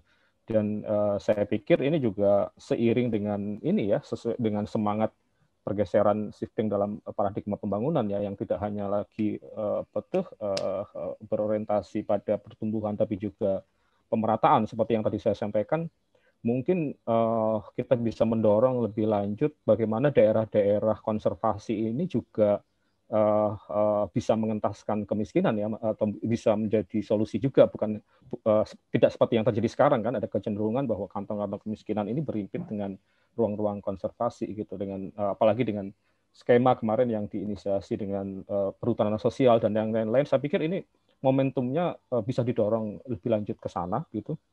Dan uh, saya setuju tadi bahwa ini memang uh, bisa mungkin kita elaborasi lebih lanjut mungkin Taman Nasional versi Indonesia memang harus uh, harus respect terhadap uh, masyarakat terutama masyarakat adat ya dan ini uh, uh, hampir seluruh, hampir seluruhnya ya mungkin ya memiliki setidaknya memiliki jejak kultural gitu bagi banyak orang sekitarnya. Mungkin itu menurut saya. Baik, terima kasih banyak Mas Arief. Uh, sudah lengkap ya mudah-mudahan ini jawabannya kepada Mbak Silva, Mbak Syifa, maaf. Um, ya selanjutnya ini sudah banyak juga pertanyaan yang lain, sudah ada sekitar 13. Uh, saya mau mulai satu karena dari tadi sudah masuk dari sisi kebijakan dan anggaran. Uh, mungkin ini yang agak lebih dekat dengan masyarakat pada umumnya untuk Mas Pungki. Pertanyaannya terkait dengan maraknya uh, tren pendakian uh, yang yang sekarang semakin uh, uh, meningkat gitu, yang ternyata malah berdampak pada lingkungan uh, di Taman Nasional sendiri. Nah, kira-kira seperti apa untuk uh, mencegah uh, mungkin kerusakan atau uh, uh, polusi ya terhadap lingkungan Taman Nasional dengan maraknya uh, tren pendakian? Silakan Mas Pungki. Makasih, Mbak Afur. Uh, makasih nih uh, tadi ada kawan yang bertanya tentang pendakian juga saya sempat baca juga. Jadi sebenarnya apa yang dilakukan oleh teman-teman di Taman Nasional saat ini sudah sudah sudah ketat juga ya. Pertama yang untuk mengurangi jumlah beban pendakian itu ada sistem kuota namanya. Nanti uh, Pak Dirjen juga bisa menjelaskan, tapi saya mencoba menjelaskan juga. Ada namanya sistem kuota. Jadi uh, contohnya kalau kita ingin mendaki di Rinjani atau Gunung Gede, itu ada kuota per hari maksimal kalau pada weekend atau pada libur panjang uh, maksimal 500 uh, eh, orang untuk dibatasi mudah satu mudah pengawasannya yang kedua terkait dengan sampah lalu berikutnya yang diterapkan juga untuk sampah ini eh, teman-teman di Taman Nasional mereka membuka pos di pintu masuk jalur resmi ya karena kita tahu bahwa untuk menuju menuju ke ke pendakian itu ada banyak juga jalur dalam tanda kutip jalur tidak resmi dan memang susah di Indonesia ini karena tadi dikatakan oleh Pak Wiratno di kesampaian oleh Mas Ai bahwa ada desa-desa di sekitar Taman Nasional dan mereka mempunyai jalur akses ke kalau kita gunung itu jalur akses ke uh, pendakian. Nah, khusus untuk yang jalur resmi di foto ya Mas. Uh, itu ada semacam pengecekan uh, sampah pada waktu naik ataupun turun. Ini di beberapa, terutama untuk uh, taman nasional, taman nasional yang memang menjadi populer, seperti Gunung Gede yang tadi saya sampaikan, uh, Semeru, Rinjani itu ada pengecekan sampah-sampah. Jadi apa saja yang dibawa ke atas dan apa saja yang dibawa ke bawah itu harus sama. Jadi kalau enggak sama ini pasti dibuang di di atas. Dan yang ketiga memang nah ini karena ini saya katakan taman nasional itu taman nasional kita, jadi kesadaran para teman-teman pendaki ataupun teman-teman para pemuda ini teman-teman milenial khususnya pada waktu kita mengunjungi taman nasional, kita mendaki, at least paling tidak kita bawa sampah yang kita bawa jangan sampai uh, karena memang kita tahu di hutan ataupun di taman nasional oh luas uh, sampah kita buang sampah satu aja uh, nggak kelihatan. Ya itu kan cuma satu orang tapi kalau kita ada 100 atau 500 orang membuang bersama-sama kasihan alamnya juga dan kotor kan. Karena itu tingkah laku membuang sampah itu sebenarnya dari sisi petugas mereka sudah eh, bekerja keras, tapi sisi lain juga dari sisi pengunjung ini juga perlu adanya semacam ajakan buan bawalah sampah uh, kembali lagi kalau kita kita nasional untuk mendaki kita juga ingin membawa sampah tersebut. Lalu terkait dengan kebijakan lainnya, ini ada kalau di teman-teman Taman Nasional untuk pendakian itu ada namanya sesi uh, inkubasi atau sesi apa sih namanya sesi uh, untuk merestorasi dirinya sendiri. Itu biasanya bulan Januari hingga bulan Maret itu tidak boleh ada pendakian dengan asumsi biarkan alam berpuasa seperti kita lah. Eh, bagi yang muslim saat ini eh, berpuasa, itu alam juga dibiarkan berpuasa dari bulan Januari hingga Maret. Satu karena eh, pertimbangannya itu musim hujan, itu cepat kalau tentang untuk merestorasi dirinya sendiri. Yang kedua memang awal tahun itu biasanya memang banyak bencana dalam artian angin ribut, hujan, dan lain sebagainya. Oleh karena itu untuk meminimalisir kejadian-kejadian yang ada di alam.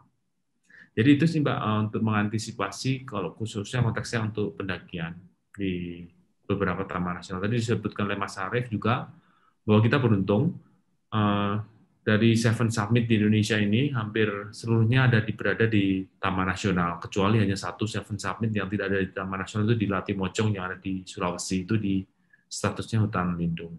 Yang lainnya ada di dalam Taman Nasional. Itu Mbak. Baik.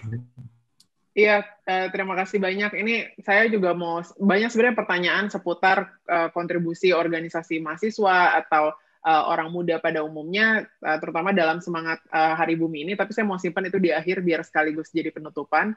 Sekarang saya mau tanya yang selanjutnya menurut saya juga menarik. Ini menurut ketiga narasumber apakah uh, kalau misalnya ada kontes gitu ya, kontes taman nasional, jadi kayak Indonesian Idol untuk taman nasional, kira-kira taman nasional mana yang uh, Pak Wiratno, uh, Mas Puki dan Mas Arief anggap sebagai yang terbaik? Ini menarik pertanyaannya. Dan kriterianya juga mungkin ditambahan pertanyaan dari saya, kriterianya apa yang yang uh, uh, apa sampai dikategorikan sebagai terbaik menurut masing-masing subjektivitas narasumber?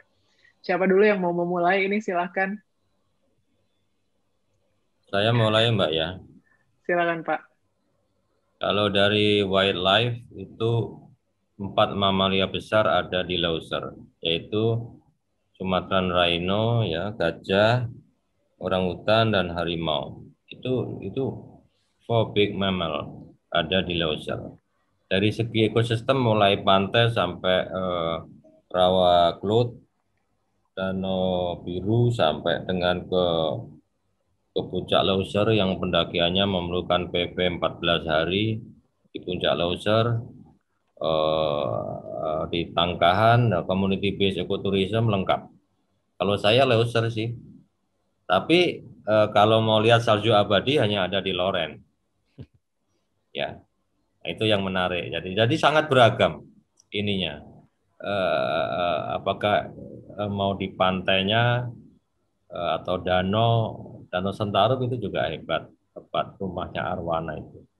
Jadi eh, tergantung ini sih, tergantung apanya itu minatnya ke mana gitu. Semuanya mengagumkan dan itulah saya bilang Taman Nasional sebagai national treasure, treasure, harta karun nasional kita Indonesia Raya ini dan kita bangga karena kita harus memiliki identitas mengurus Taman Nasional urus hutan itu versi kita, enggak usah ikut-ikutan eh, barat atau timur atau utara atau selatan. Ya, dan itu itu harus makanya Mas Muki bilang ini milik kita loh, ini taman nasional kita, ayo kita sama-sama.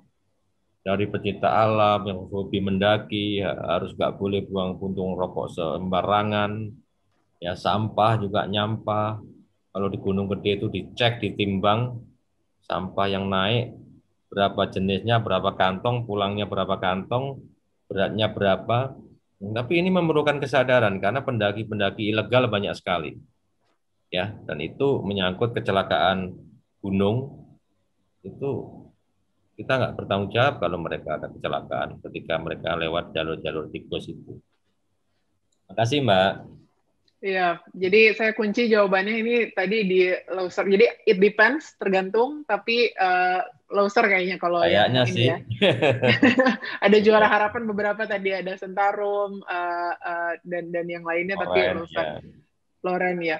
Untuk uh, siapa dulu nih? Mungkin Mas Pungki sama juga loser juga atau beda nih kira-kira pemenang juara umumnya? Oh masih freeze. Mungkin Mas Arief dulu. Uh, iya, uh, menurut saya sangat sulit ya untuk memilih mana yang paling yang paling pun juga harus kita harus kita ini sih harus kita lihat yang paling dari sisi apa karena masing-masing taman nasional ini memiliki uh, spesifikasi yang berbeda gitu misalnya kalau orang yang suka mengenai bagaimana interaksi antara kebudayaan dengan dengan alam misalnya, mungkin akan memilih Bromo Tengger Semeru ya di mana taman nasional atau alam itu juga menjadi ruang budaya ya. Ada orang yang hidup dan berkebudayaan di sana gitu. Ada ritual yang masih hidup di di Bromo, di Tengger dan seterusnya. Itu menurut saya uh, contoh yang sangat menarik bagaimana orang uh, kalau saya bilang ya seperti yang saya tulis di buku saya hidup dan mati bersama gunung api gitu. Walaupun ada bahaya, mereka tetap di situ respect dan dan dan juga hidup secara berkelanjutan ya dengan bertani yang ramah lingkungan dan seterusnya gitu. Jadi kalau uh, kalau kita bicara misalnya mengenai sejarah yang luar biasa misalnya Taman Nasional Gunung Tambora misalnya yang memiliki jejak letusan terbesar selama modern ya gunung api modern 1815 ya yang menimbulkan tahun-tahun musim panas. Jadi tergantung tergantung dari mana ya apa tuh kita kita hobinya ke mana gitu. Atau kalau kita bicara dengan apa tuh keindahan proses pendakian itu misalnya Gunung Rinjani juga ya yang luar biasa juga sejarah letusannya juga sangat dasar dan baru diketahui belakangan ya dan uh, jadi kalau menurut saya ini justru kehebatannya Taman Nasional kita ya yang sebenarnya memiliki uh, apa tuh dimensi yang sangat beragam dan berbeda gitu. Orang yang hobi tadi apa tuh meneliti suksesi ekologi ya uh, apa tuh ke mana gitu misalnya. Uh, sorry tadi mungkin saya saya tekankan juga ya. Uh, Krakatau itu kalau nggak salah cagar alam ya, bukan bu, belum masuk alam, nasional ya misalnya. Tapi kalau kita mau bicara mengenai relasi apa tuh orang yang suka mendaki eh, apa tuh Rinjani saya pikir itu juga salah satu yang lengkap ya memberi pengalaman yang yang cukup lengkap. Kalau suka masuk ke hutan dengan uh, living di hutan lama ya loser karena sangat lama gitu. Jadi itu mungkin saya susah untuk memilih salah satu di antaranya setidaknya dari uh, kalau saya salah satunya saya yang suka ya sebenarnya dan relatif mudah terakses uh, apa tuh Bromo Tengger Semeru juga sangat menarik terutama ketika Bromo kita mau Semeru. mau live in dengan masyarakat ya dan melihat bagaimana apa tuh uh, uh, relasi dengan budaya dan dan alam yang baik. Betul. Jadi uh, terlihat ini kayaknya kalau untuk Mas Arief yang penting juga adalah aspek sosialnya sebenarnya masyarakat komunitas sekitar dan makanya tadi yang dipilih uh, uh, uh, Bromo uh, maaf uh, apa namanya berdasarkan uh, kriteria tersebut gitu. Kalau untuk uh, Mas Pungki sama tadi loser sempat disebut juga tapi jadi ini udah dua kali disebut nih. masih Mbak Afuf masih.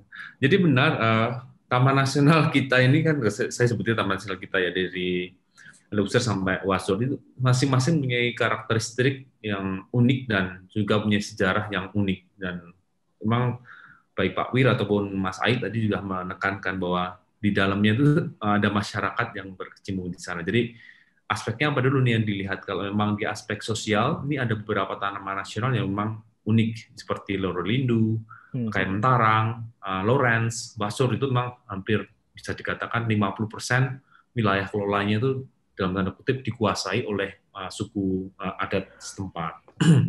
Tapi tidak memungkin uh, apa namanya? nggak apa-apa seperti itu karena memang mereka pun sebenarnya menguasai bukan dalam artian dikuasai untuk ditebang enggak, tapi ada kearifan lokal di sana dan mereka ingin bekerja sama dengan si pengelola taman nasional untuk mengembangkan taman tersebut. Nah, kalau disebut tadi paling favorit atau yang ter, ini agak susah sih memang kriterianya. Memang kalau disebut dari kriteria wisata tadi uh, Mas Ai menyebutkan Bromo itu benar, Bang uh, Bromo karena dia dari segi akses dekat sekarang ada tol, dari segi keindahan gunung-gunung uh, sangat cakep. Terus tadi dari segi ekahati itu memang loser karena memang di sana ada empat uh, spesies kunci Pak Wir ya, yang besar-besar yeah. harimau, badak, gajah, uh, orang hutan. Terus kalau memang unik juga di Lawrence itu unik, atau kalau kita ingin merumah orang hutan itu bisa di Tanjung Puting. Jadi tergantung konteksnya. Memang bingung kalau suruh milih. nah, kalau tapi di sini ada kata kunci uh, dari aspek pengelolaan, kemandian dan jumlah wisatawan. Kalau dari saya pribadi, uh, mumpung di sini juga ada kepala balainya yang hadir, saya milih komodo. Ini uh, kepala balainya ini uh, hadir di sini. Saya lihat di Pak Awang hadir ya, Pak Awang. Ada nih Pak. Hmm. Awang sang pawang komodo ini memang uh, beliau ya, mengembangkan ya. Uh, Taman Nasional Komodo ini uh, mengelola Taman Nasional Komodo dengan sangat giat. Di, uh, pengelolaannya dalam konteks bisa mengatur uh, stafnya. Ini uh, sistem Pak apa uh, 24 jam berpatroli di dalam kawasan dengan sistem bergantian. Saya bayangkan kalau saya ditugaskan di sana belum tentu saya mampu karena dua minggu di lapangan, dua minggu off, dua minggu di lapangan, dua minggu off. Lalu uh, disebut uh, jumlah wisatawannya ini Komodo ini uh, tiga atau lima tahun terakhir ini melonjaknya cukup tajam karena dengan segi aksesibilitas bandaranya ada. Lalu kita lihat perubahan terbesar itu ada di Jalan Asia Afrika itu seperti uh, di mana di Labuan Bajo itu benar-benar seperti kutenya di Labuan Bajo ini berbagai hotel, berbagai apa namanya wisata selam, eh, bar atau dan restoran itu ada di sana. Dan dari segi wisatawannya pun eh, Komodo ini bisa dibilang ada dua tipe, eh, baik yang dalam tanda kutip untuk mass tourism ada, ataupun yang high class tourism juga bisa ke sana dan mempunyai pangsa pasar sendiri-sendiri. Contohnya kalau high class dia memakai kapal pinisi, terus jam-jamnya pun tertentu melihat apa namanya spot-spot wisata sedangkan yang mass tourism pun juga uh, mempunyai karakteristik sendiri jadi bagi saya kalau kita lihat dari segi ini yang ditanyakan oleh Mas atau Mbak Ruby ini dari segi pengelolaan kemandian dan jumlah wisatawannya saya pilih Komodo Bung, uh, di sini juga ada kepala balainya hadir juga. Makasih. Bang ada ya Pak Awang ya. Jadi objektif entah. Iya luar biasa. Uh, apa namanya ini menarik banget saya dari tadi dari jawabannya berasa sambil keliling-keliling Taman Nasional di Indonesia yang ada ya karena dideskripsikan juga. Mudah-mudahan uh, teman-teman yang rekan-rekan yang ikut di uh, acara sore hari ini juga terinspirasi untuk uh, mendatangi sebagian kalau ada yang belum didatangi dari taman-taman nasional yang sudah disebutkan. Nah, untuk pertanyaan selanjutnya ini saya berusaha menggabungkan beberapa pertanyaan karena semakin banyak, tapi uh, saya mau angkat beberapa pertanyaan dari Mas Alo, Aloysius Wijaya, Mbak Agnes Budi Saputri, dan juga Mbak Shanti Kartika uh, dari aspek status uh, yang berbeda-beda. Jadi uh, ini saya mencoba menggabungkan ya, tapi ada pertanyaan misalnya ada beberapa situs yang uh, punya status-status seperti uh, warisan dunia UNESCO atau cagar biosfer dunia gitu. Uh, kemudian juga dalam konteks kawasan konservasi kan ada yang uh, bentuknya taman nasional, tapi juga ada bentuk-bentuk uh, lain tadi seperti cagar alam dan sebagainya. Nah, sebenarnya dari status-status yang berbeda itu seperti apa uh, perbedaan uh, apa ya? Yang mana yang paling efektif dan efisien dalam konteks uh, tiga kaidah konservasi sumber daya hayati? Terus perbedaannya mungkin apa saja? Saya juga uh, agak penasaran dari aspek ini.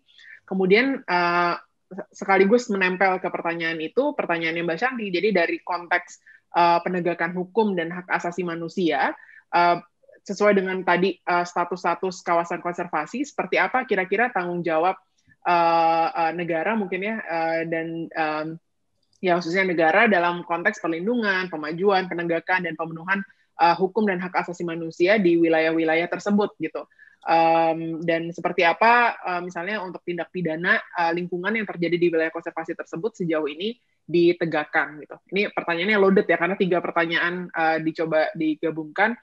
Mungkin mau dimulai dari uh, siapa dulu nih kira-kira kali ini? Mas mungkin mau Mungkin, atau Mas Mungkin silakan duluan. Ya, Oke, silakan.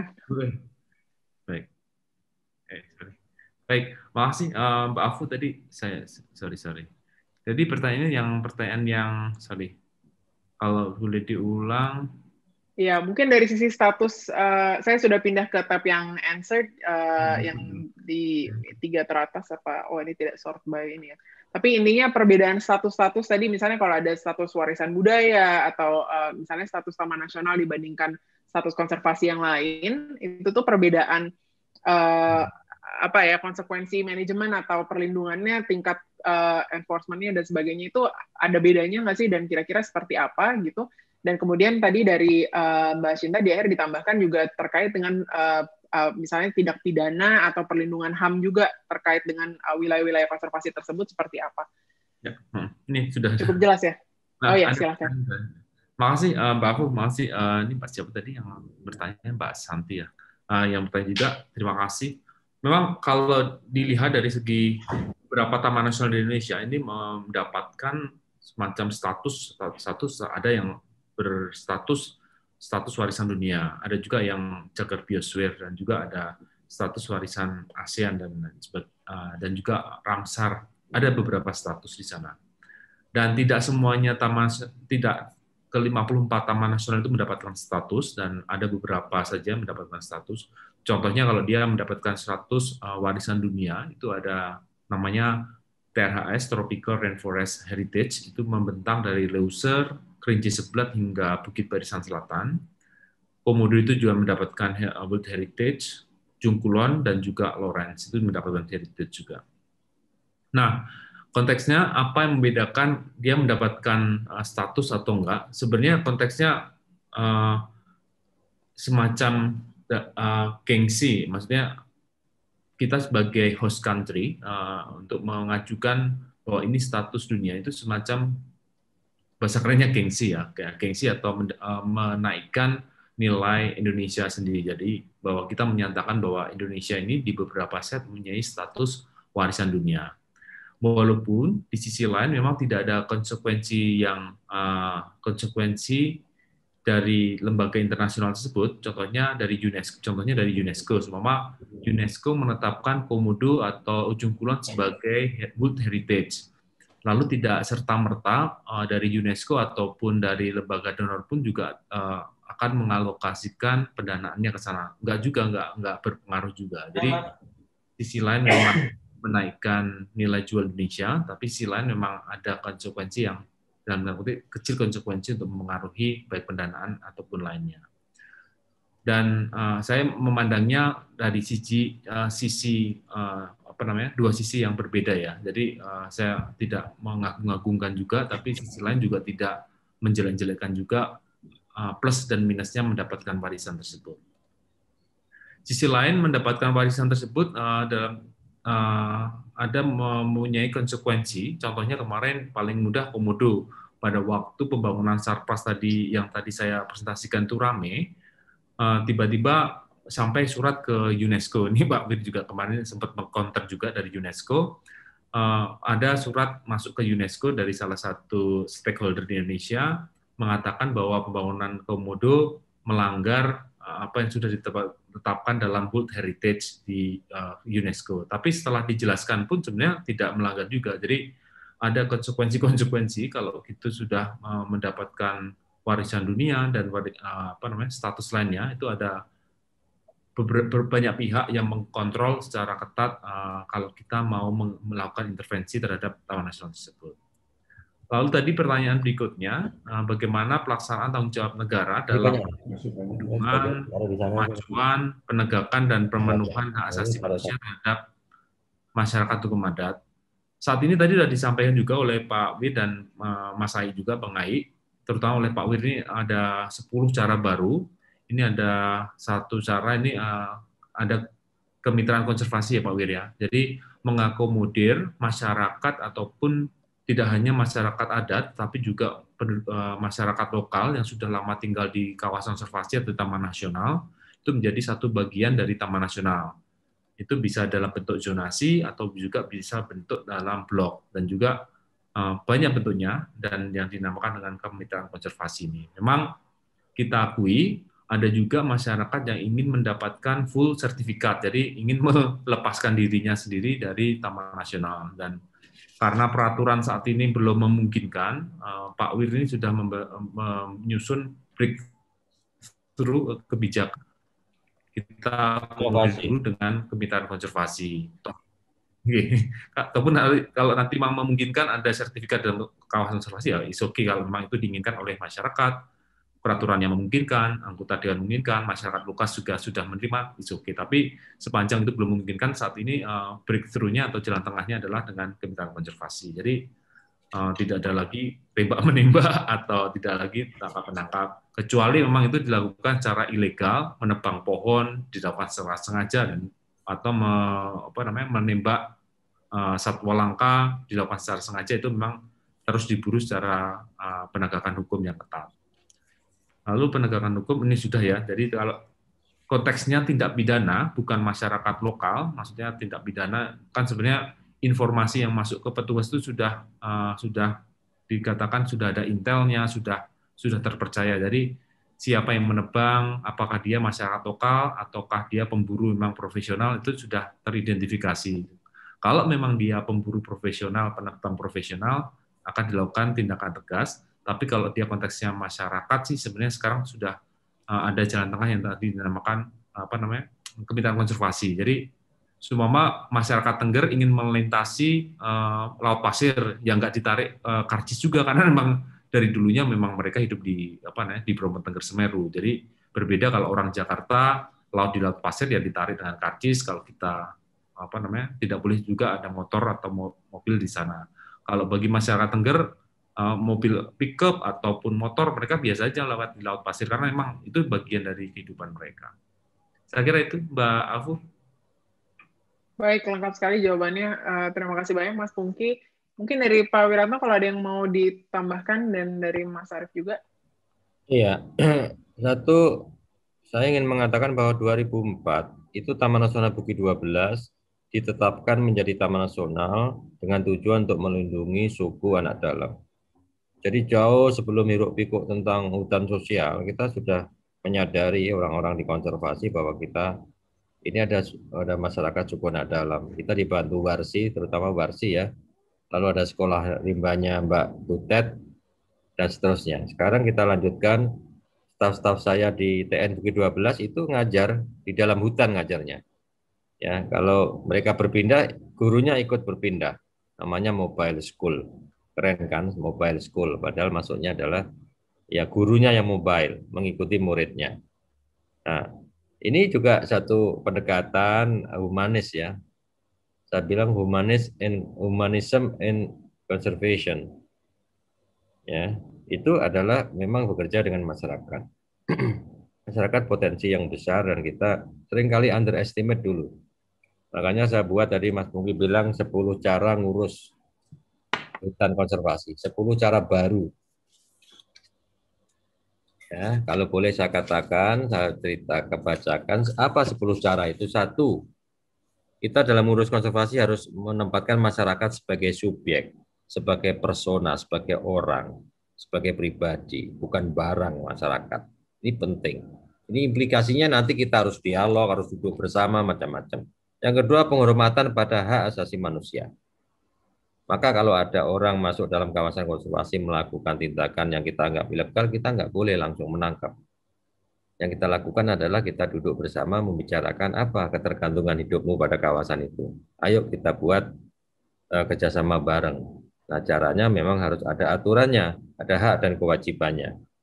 Lalu di dalam ngurus konservasi kita kerja lintas eselon 1.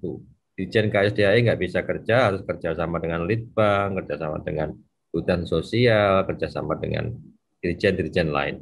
Bahkan yang keempat, harus kerjasama lintas kementerian. Alangkah asiknya kalau kita bisa bekerja sama dengan Kementerian Desa, bahkan tadi yang bertanya dengan pemerintah daerah. Kita bekerja sama intensif dengan pemerintah daerah seperti di Taman Nasional Wakatobi, karena luas kabupatennya juga sama dengan luas Taman Nasionalnya. Mau nggak mau kita harus bekerja bersama-sama. Ya, lalu Yang kelima, penghormatan pada nilai budaya dan adat. Ini yang paling baru. Yang paling baru adalah ada beberapa hal. Ya, HAM tadi baru, masyarakat sebagai subjek, staf saya susah payah belajar bagaimana itu kita belajar birokrat itu mendengarkan aspirasi masyarakat dan membuat perencanaan bersama masyarakat. Ini sebagai masyarakat sebagai subjek ya. Nilai budaya ya, adat dan adat ini penting ya karena kita keragamannya sangat luar biasa dan kita harus hormati. Yang keenam adalah kepemimpinan multi level. Leadership, kekuatan leadership ya, konsistensi leadership dari Jakarta sampai provinsi, kabupaten sampai ke tingkat tapak sampai ke pinggir hutan harus seimbang leadershipnya harus sinkronize bahasa anak milenial sekarang. Kemudian pengambilan keputusan harus berbasis sains, harus berbasis sains. Tidak sekedar mengambil keputusan menurut feelingnya masing-masing kepala balai. Ya. Terus kedelapan pengelolaan berbasis resort, berbasis lapangan. Resort itu unit terkecil. Dari Taman Nasional dibagi-bagi lagi ke dalam unit-unit yang luasnya bisa 1000, bisa sampai 50.000 hektar satu unit satu pengelola kepala resort.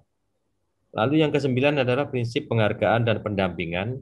Ya, saya sudah memberikan penghargaan lebih dari 1.500 penghargaan selama sejak 2017 kepada staf saya, kepada mitra, kepada polisi, tentara yang membantu penegakan hukum, kepada LSM, kepada tokoh masyarakat, tokoh agama, tokoh adat. Ya, dengan begitu saya semakin teman-teman staf saya semakin mendapatkan ya dukungan dari para para pihak termasuk pemerintah daerah beberapa bupati kita berikan penghargaan atas partisipasinya dalam mendukung program konservasi. Yang ke-10 kita harus menjadi organisasi pembelajar, organisasi yang selalu belajar dari kesalahan. Jangan mengulangi kesalahan yang sama tiga kali di tempat yang sama. Itu namanya keledai. Organisasi saya harus tanggap kita mempunyai call center di seluruh Indonesia yang dapat laporan masyarakat dan harus kita follow up. Call center kita aktif dan nanti saya sampaikan kepada publik kesempatan ini kepada Kompas ya, Kompas untuk bisa melaporkan ada konflik satwa, ada penyerahan satwa, ada penyerahan gading gajah, penyerahan offset harimau dan seterusnya. Ya, ini yang sedang saya kembangkan. Mbak, semoga bisa menjawab semua overall. Kalau penegakan hukum khusus saya minta kepada aktor intelektualnya, kepada pemodalnya, ditangkap saja. Tapi kalau masyarakat miskin, ya harus justru kita rangkul, bukan ditangkap, dipenjarakan. Itu prinsip saya. Terima kasih, Mbak. Baik, terima kasih banyak uh, Pak Wir. Ini uh, kalau boleh sebenarnya singkat uh, pertanyaan tambahan saya sambil nemu juga kalau misalnya penetapan uh, dalam penetapan Taman Nasional itu kenapa Gunung Selamat tidak ditetapkan sebagai taman nasional, Pak? Ada pertanyaan itu karena keanekaragaman keanekaragaman hayatinya tergolong tinggi. Dari siapa yang tanya itu? Ini Mbak Giska Manikasari. Mbak Giska, makasih ya. Uh, maaf, ini dalam proses semuanya di Jawa ini mungkin segera ada, akan ada kebijakan gunung-gunung hutan-hutan lindung di Jawa, Gunung Selamat, Gunung Muria yang masih ada maca tutulnya, Gunung Lawu, Gunung Sindoro Sumbing, Gunung Cikuray, Gunung yang lain-lain yang masih hutan lindung yang mengelola itu adalah perhutani, insya Allah nanti bisa didorong untuk menjadi kawasan konservasi, apakah taman nasional atau yang lain, sehingga uh, kita bisa melakukan pengelolaan secara intensif.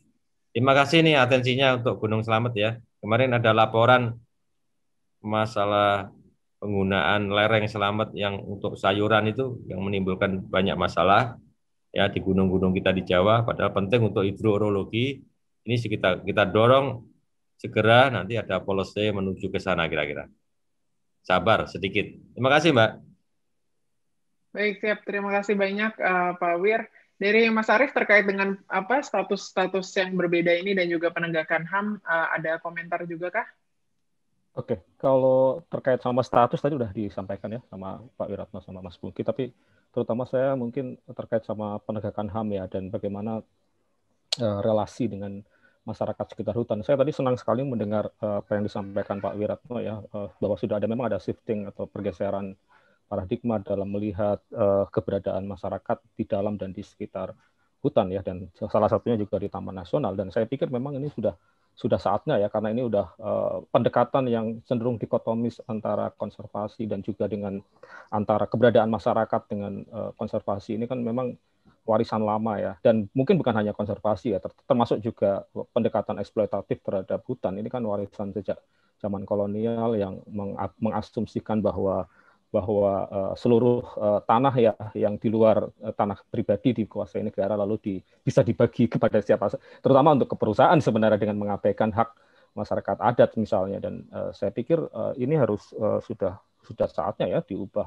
Apalagi dengan adanya dan seharusnya memang juga diikuti dengan lebih intens dengan reformasi agraria dan yang lain-lain. Tetapi saya pikir semangat ini yang mungkin bisa dimulai dari teman-teman dari dari kehutanan sendiri dan terutama di Taman Nasional ini juga bisa uh, di uh, apa tuh dibawa ke bidang-bidang yang lain. Dan saya pikir ini di di tempatnya Mas Pungki sebenarnya Bapenas yang bisa memayungi. Karena kita tahu bahwa uh, mungkin tidak semua memiliki perspektif yang sama dengan Pak Wiratno atau mungkin dengan uh, dirjen uh, kedirjenan Pak Wiratno. Mungkin di sektor yang lain masih memiliki perspektif yang berbeda dalam melihat uh, masyarakat gitu. Uh, yang cenderung masih kontradiktif atau mungkin malah lebih berpihak kepada korporasi dan menganggap bahwa keberadaan masyarakat di dalam uh, yang seharusnya bisa bisa sejalan dengan uh, konservasi uh, itu uh, masih belum semuanya mungkin itu disadari. Nah, ini menjadi penting memang kalau menurut saya terutama Mas Pungki kan posisinya di Bapenas ya, yang mungkin bisa menjadi backbone dari uh, perencanaan yang memayungi uh, apa tuh uh, institusi atau kelembagaan yang lain gitu bahwa paradigma untuk menjadikan uh, masyarakat sebagai subjek dari ruang hidup mereka sendiri misalnya ini menurut saya semangat yang harus uh, harus didorong dan dalam konteks taman nasional ini menurut saya memang uh, sangat penting kita untuk sebenarnya kita ke, dengan dengan memberikan uh, apa tuh akses kepada masyarakat uh, adat ya atau masyarakat lokal ini sebenarnya uh, sebenarnya mengembalikan mengembalikan hak mereka gitu karena mereka iya. memang sebenarnya lebih lebih, dulu. lebih duluan Jadi, ada daripada betul. daripada taman nasional bahkan daripada negara kita sendiri gitu sehingga menurut saya ini merupakan suatu kewajiban ya bukan bukan kita berterima kasih tapi malah mengembalikan hak yang seharusnya memang mereka mereka miliki makasih gitu. Iya, terima kasih banyak Mas Arief poin yang sangat penting uh, ini terkait dengan uh, bagaimana kita me melihat uh, ya tadi hak uh, dari masyarakat sekitar juga. Um, mungkin untuk selanjutnya saya mau fokus ke pertanyaan-pertanyaan seputar pemanfaatan dari Taman Nasionalnya sendiri. Ini ada beberapa yang masuk dari aspek uh, pemanfaatan dari sisi wisata maupun dari sisi penelitian. Um, ini saya bacakan beberapa. Jadi dari Mbak Berta Utami uh, menanyakan tentang uh, jadi beliau sempat uh, ke beberapa taman nasional juga untuk tujuan penelitian. Awalnya untuk penelitian satwa liar tapi kemudian belakangan juga uh, studi dengan manusia adat uh, atau komunitas adat di Taman Nasional dan dari pengalaman beliau uh, terlihat bahwa studinya masih terpisah ini biasanya. Jadi uh, apa namanya studi terkait konservasi satwa liar maupun uh, uh, manusia adat di balai besar uh, masih terpisah. Apakah ada uh, saya juga kurang jelas sebenarnya terpisah dari aspek apa, tapi mungkin uh, para narasumber lebih tahu. Apakah mungkin ada contoh taman nasional yang berhasil menggabungkan uh, kedua studi tersebut. Kemudian uh, dengan semangat pertanyaan yang cukup serupa ada Mbak Ina Tanaya yang uh, membandingkan atau memberikan contoh di Melbourne gitu bagaimana uh, pemanfaatan taman nasionalnya cukup terintegrasi antara wisata alam dengan wisata untuk impact misalnya. Uh, nah, apakah yang terintegrasi seperti ini juga di Indonesia sudah ada dan kalau ada kira-kira uh, di mana gitu? Uh, mungkin itu dulu. Ini semakin banyak pertanyaannya luar biasa banyak banget dari tadi semakin ramai. Uh, padahal waktu kita tinggal sedikit. Um, ya mungkin dua tadi pertanyaan itu dulu kali terkait dengan pemanfaatan uh, Taman Nasional untuk penelitian atau wisata yang lebih terintegrasi. Ada uh, respon dulu kah dari siapa yeah. nih iya. kira-kira Pak Wir? Uh, tantangan kita itu memang mengintegrasikan antara nature and and culture uh, di tourism ya, di ekoturism, di wisata alam outdoor. Saya waktu di Loser mengembangkan bersama-sama teman-teman di sana itu adalah teman-teman tangkahan. Jadi kalau di googling ekowisata tangkahan akan muncul di situ di mana masyarakat mendapatkan manfaat paling besar karena dia sebagai subjek, dia merencanakan bersama kita bagaimana ngurus turis. Dulunya mereka pelaku illegal logging. Ya tahun 70-an, 80 sampai tahun 2000 berhenti. Yaitu di Tangkahan ya, yang ya, itu di sana juga punya ekolot di sana. Siapa itu bintang film siapa itu? Mas Nicholas Nicholas Saputra ya. Nah, dia juga diterima oleh masyarakat di sana. Jadi tantangannya memang itu. Yang berkembang sekarang yang menarik adalah di Sumatera, Kalimantan Barat, balai di sana sedang ingin mengembangkan wisata penelitian. Jadi sebetulnya di cagar alam. Cagar alam itu sebetulnya boleh orang masuk, tapi mandat utamanya kan untuk riset. Gimana sampai riset, sampai riset yang model ringan-ringanan, misalkan pengenalan pohon, ya, forest betting, forest uh, forest healing, misalkan ya, secara terbatas memang tidak boleh di situ. Secara terbatas boleh di akan Marga Satwa. Nanti undang-undang baru semoga moga-moga Mas Pungki juga itu terbatas di cagar alam dalam rangka untuk forest healing dan seterusnya. Ya untuk riset itu pasti. Tapi riset yang untuk yacht ya untuk anak-anak muda biar mengenal alam, manfaat sungai dan seterusnya. Itu saya kira penting dan saya kita bisa saya kira kalau di Australia ada, kita bisa belajar integrasi itu. Nah, memang setiap taman nasional itu berbeda-beda ininya. Memang wisata alam itu bisa dikembangkan dengan aturan yang lengkap sebetulnya kita ke depan itu akan mereka dan hak ngelola satu di zona pemanfaatan ya. Seperti di Komodo yang ribut kemarin itu sebetulnya dari 172 ribu hektar luas Taman Nasional Komodo sebetulnya zona pemanfaatannya hanya kecil sekali, hanya satu persen. Karena memang kita batasi. Jadi tourism di Taman Nasional sebetulnya tidak bisa mass tourism.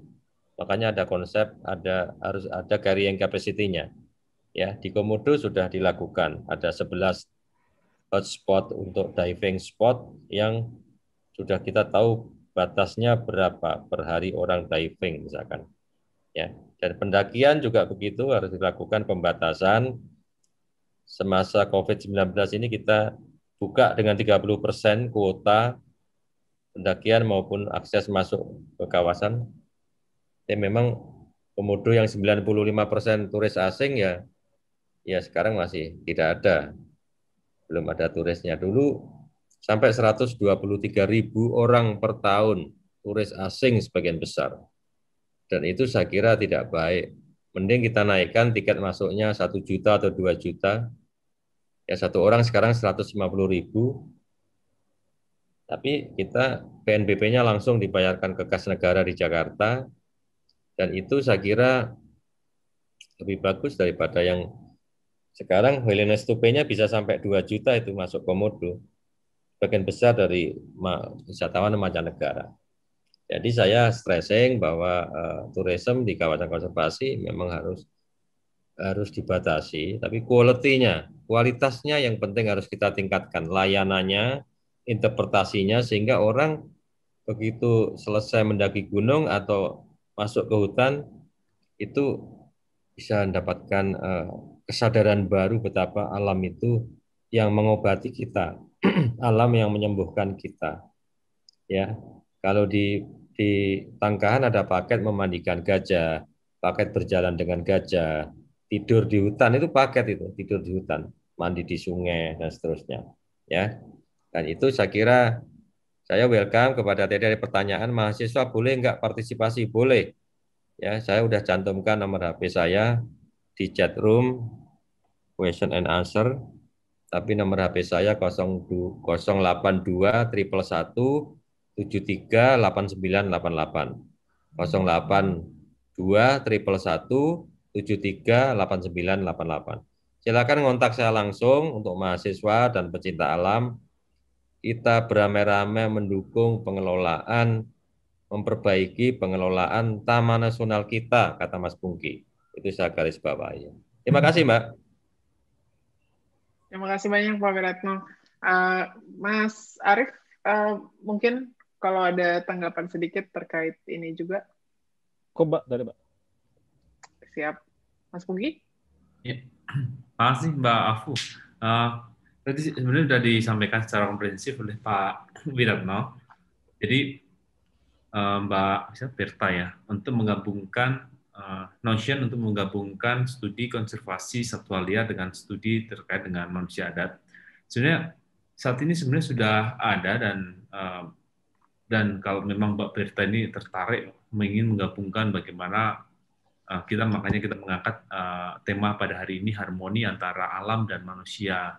Dalam satu studi yang apa namanya komprehensif ini sangat bagus. Dan saya kalau menurut saya justru itu yang menjadi uh, niat utama kita. Jadi bukan dalam artian karena tadi sudah disampaikan juga oleh Pak Wir dan Mas Ai juga bahwa pada prinsipnya kalau di Indonesia ini agak berbeda, kita sebut Taman Nasional Kawasan Konservasi, itu sebelumnya sudah ada manusia di sana, bukan dalam artian bersih dari manusia seperti di Amerika, terus uh, dikelola dengan uh, ke, apa namanya, kalau ada manusia, ada warga negara masuk ke Taman Nasional ditangkap dan di apa namanya, dan di ada bentengnya, nggak bisa di Indonesia karena masyarakat adat, masyarakat apa, masyarakat lokal itu sudah lama tinggal di situ dan kalau memang ini akan dikaji lebih dalam, bagaimana interaksi mereka terhadap kelestarian atau perilaku satwa yang ada di dalam taman nasional atau kawasan konservasi ini sangat menarik sekali. Dan memang saat ini ada saya yakin ada di beberapa tapi uh, saya memang mohon maaf saya bisa belum bisa menyampaikan contoh konkretnya di taman nasional mana yang sudah menerapkan studi ini. Tadi sudah disampaikan oleh Pak Wiratno mungkin bisa di Leuser di Tangkahan itu sudah ada atau bisa juga di Eh, Tanjung Puting itu antara masyarakat Dayak dengan uh, orang hutan itu juga sudah ada beberapa dan memang ada beberapa di bagian lainnya. Lalu berikutnya tadi disampaikan juga untuk yang cukup ya itu ya. Uh, cukup yang satu lagi sama pertanyaannya tentang integrasi antara wisata IPTEK dengan Oh yang di Melbourne uh, ya. Konservasi yang di Melbourne. Hmm.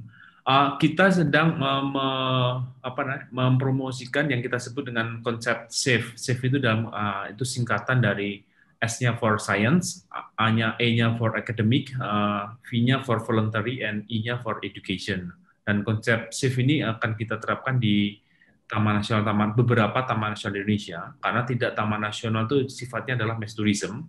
Contoh paling konkret adalah tadi di, kami sampaikan di Tanjung Puting Tanjung Puting itu dia uh, wisatawan datang ke sana dalam konteks untuk uh, education atau untuk uh, science atau untuk uh, uh, akademik, bukan untuk bukan purpose-nya bukan untuk sekedar untuk melihat keindahan alam atau uh, menikmati apa keelokan pemandangan saja, tapi purpose-nya di sana adalah mengamati orang hutan, mengamati bagaimana interaksi antar masyarakat adat dan lain sebagainya. Jadi konsep SAFE ini, konsep SAFE, uh, Science, Academic, Voluntary, and Education ini yang baru kita kembangkan di beberapa taman nasional yang memang konteksnya dia cocoknya ke sana, bukan dalam artian untuk uh, mass tourism yang sifatnya untuk masif ataupun untuk uh, tourism yang sifatnya untuk menikmati pemandangan alam.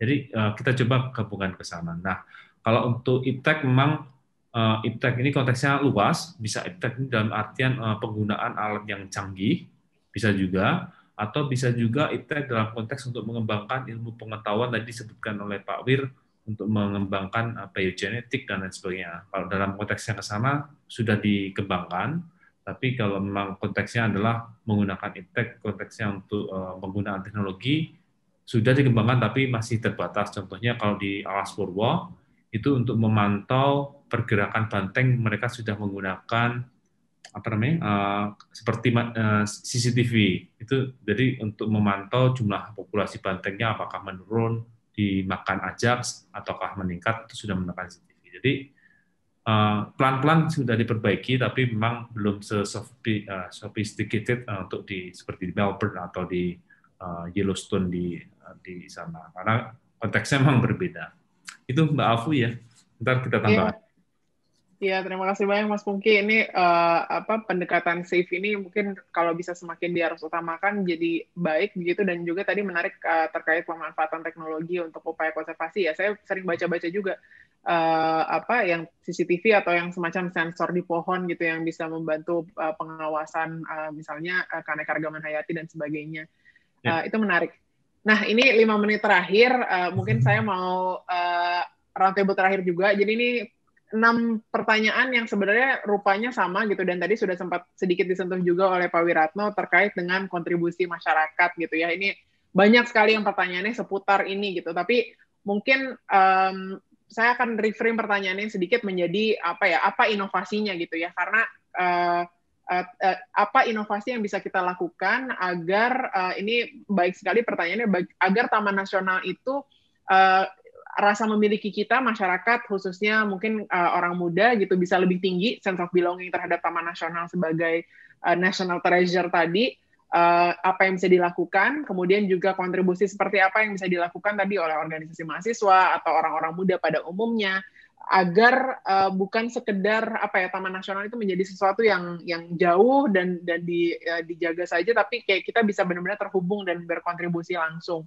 uh, apakah ini ada usulan juga dari salah satu penanya apakah bisa dari kurikulum pendidikan bahkan gitu? Apa yang bisa di, dilakukan lewat sana gitu? Mungkin ada ide-ide inovasi uh, yang selama ini bisa dilakukan. Nah khusus titipan tambahan untuk Pak Wiratno yang sudah berada di dunia ini jauh lebih lama dari kita semua gitu. Mungkin ada pesan-pesan optimisme atau atau mungkin pesimisme uh, terkait dengan apa yang uh, Pak Wir sudah sudah uh, alami gitu selama ini. Apakah ada perubahan ke arah yang lebih positif dan ke depan kira-kira seperti apa? Jadi semacam pesan penutup terakhir dari masing-masing narasumber. Saya mau mungkin mulai dari uh, bingung juga dari Mas Arief dulu mungkin. Ya uh, jadi kalau menurut saya merangkum pertanyaan-pertanyaan tadi eh, terutama terkait peran apa yang bisa dilakukan ke masyarakat ya sebenarnya ini juga sebenarnya mungkin malah uh, uh, titik awalnya sebenarnya tadi sudah disampaikan Pak Wiratno ya bahwa sudah ada setting ya pergeseran pergeseran perspektif dalam melihat relasi antara culture dan nature-nya gitu ya. Dan ini adalah uh, prinsip pengembalian bahwa konservasi itu memang tidak akan bisa dipisahkan daripada orang kan, orang sekitarnya. Dan tadi Mas Pungki juga sudah menyinggung. Sebenarnya sudah banyak bukti ya bahwa ketika masyarakat itu dilibatkan uh, dilibatkan ya dalam uh, konser, upaya konservasi dan mereka merasa memiliki uh, uh, apa tuh uh, lingkungan sekitarnya itu ya. Karena mereka kan memiliki kepentingan kan untuk keberlanjutan uh, masa depan gitu ya. Keberlanjutan hidup mereka gitu. Yang selama ini terbukti bahwa masyarakat adat itu uh, mulai dari cara hidup dan ya paradigma hidup bahkan itu selalu uh, adaptif dan selaras dengan uh, prinsip-prinsip keberlanjutan. Justru sebaliknya ketika uh, apa tuh uh, uh, perusahaan besar misalnya yang dari luar yang tidak memiliki keterikatan dengan dengan situ, mungkin prinsip itu yang yang selama ini justru memang memicu masalah. Jadi kembali kepada peran apa? Menurut saya memang optimalisasi peran masyarakat, terutama masyarakat lokal ya uh, dalam uh, untuk bekerja sama dalam menjaga lingkungan ini konservasi ini adalah kunci yang paling penting sebenarnya yang uh, untuk menjamin keberlangsungan bukan hanya uh, apa ya keberlangs bukan hanya keberlangsungan konservasi tetapi juga keberlangsungan ruang hidup ya uh, masyarakat yang yang yang yang yang harus dikembalikan ke ke mereka. Sebenarnya uh, uh, sudah banyak juga ya studi misalnya terkait sama perubahan iklim dan laju apa itu deforestasi yang semakin meningkat itu uh, tumpuan memang kembali kepada masyarakat lokal kan sebenarnya sebagai penjaga eh, prinsip-prinsip kearifan lokal mereka dalam hidup bersama alam. Itu harus kita pelajari lagi gitu. Bukan hanya bukan hanya memberi kesempatan sebenarnya. Mungkin malah ini saatnya kita untuk belajar kepada mereka ya. Bagaimana mereka selama bergenerasi sebenarnya membangun relasi yang yang harmonis kan dengan dengan dengan alam kan. Bagaimana mereka membangun uh, prinsip-prinsip misalnya uh, jalan pangan mereka yang sesuai dengan yang sesuai dengan uh, hidup uh, di dalam hutan misalnya atau mungkin dengan prinsip uh, yang dulu sering kita minorkan sebagai ladang berpindah misalnya yang mungkin malah justru memiliki praktek yang uh, ramah terhadap uh, lingkungan misalnya yang mungkin kita belum pelajari. Jadi mungkin salah satu bentuknya adalah uh, justru mungkin bukan hanya ke, ketika ke taman nasional bukan hanya uh, apa tuh melihat atau mempelajari mengenai uh, alam tetapi juga mengenai budaya lokal yang ada di situ gitu jadi mungkin sehingga mungkin peran masyarakat lokal di situ bisa lebih uh, ditonjolkan jadi ketika kita datang ke taman nasional bukan hanya untuk melihat alamnya tetapi melihat orang-orang yang uh, menjadi penyintas uh, apa tuh uh, uh, uh, uh, penyintas zaman sebenarnya. Mungkin itu, Pak. Makasih. Baik, terima kasih banyak Mas Arief. Jadi uh, bukan hanya mengenal Taman Nasional, tapi juga orang-orang uh, yang tinggal di sekitarnya gitu. Ya. Jadi Taman Nasional sebagai ruang hidup dari Mas Pungki mungkin pesan penutup sekaligus. Baik, makasih Mbak Afu. Uh, ini pertanyaan terakhir nih agak susah juga nih. Maksudnya bagaimana peranan dari masing-masing yang lintas generasi, terus baik masyarakat adat, ada juga kita nih kaum urban yang ada di Jakarta ini sebenarnya kan kita ini penikmat dari jarak jauh tapi netizen paling kejam di, di Indonesia. Jadi sebenarnya di apa yang terjadi di Taman Nasional tidak separah atau tidak sengeri yang kita bayangkan, tapi kadang-kadang uh, netizen-netizen atau para komentator di Jakarta sekitarnya ini yang justru lebih me, apa namanya Eh, membuat suatu berita menjadi viral atau suatu kebijakan atau suatu eh, pembangunan menjadi kesannya jadi jelek banget. Atau sisi lain bisa jadi bagus sekali. Bisa dua aspek. Nah kalau memang eh, bagaimana cara meningkatkan sense of belonging atau meningkatkan peran dari apa namanya masyarakat lintas generasi? Kalau saya lihat sih konteksnya tergantung ya kalau bagi kaum rural atau yang mereka masyarakat yang memang uh, sudah lama atau berdekatan dengan Taman Nasional, memang kita kasih akses supaya masyarakat tersebut uh, dalam tanda kutip legal dan juga mereka aman mengakses atau menggunakan Taman Nasional. Karena seperti julukan saya sebenarnya Taman Nasional kita, jadi bukan artian sesuatu yang dipertentangkan. Kalau dulu antara petugas dengan masyarakat lokal kan ada yang saling apa sandra, saling menembak atau saling perang. Uh, seperti, sepertinya sekarang sudah tidak ada lagi, apalagi di era kepemimpinan Pak Wir ini benar-benar bagaimana cara merangkul masyarakat menjadi satu bagian dari pengelolaan Taman Nasional itu sangat uh, benar-benar breakthrough yang bagus. Tinggal nanti dilanjutkan karena uh, memang kebijakan ini akan dituangkan juga nanti syukur-syukur bisa dituangkan dalam revisi Undang-Undang 590 karena kalau ini sudah dituangkan beneran, jadi masyarakat pun aman dan mereka sense of belonging-nya akan jadi tinggi. Jadi logikanya begini, kalau masyarakat itu dianggap sebagai uh, orang luar, mereka akan memandang oh Taman Nasional itu uh, sudah dijaga negara dan lebih baik kita tebangi atau kita rusak saja, toh nanti akan dikembalikan oleh negara. Kalau mereka merasa oh Taman Nasional itu adalah Taman Nasional kita, kita wajib menjaganya, itu akan lebih mereka untuk menjaga atau melestarikan akan lebih tinggi daripada kalau kita uh, membentenginya. Dan ada penelitian baru-baru ini di tiga negara besar di Indonesia, Amazon sama satu lagi saya lupa di Afrika, mewakili di Afrika. Semakin ketat kita menjaga kawasan konservasi atau taman nasional, justru akan semakin rusak uh, kawasan tersebut. Ini menarik sekali dan itu ada beberapa case di beberapa negara tersebut di Brasil, Indonesia dan Afrika saya lupa di mana.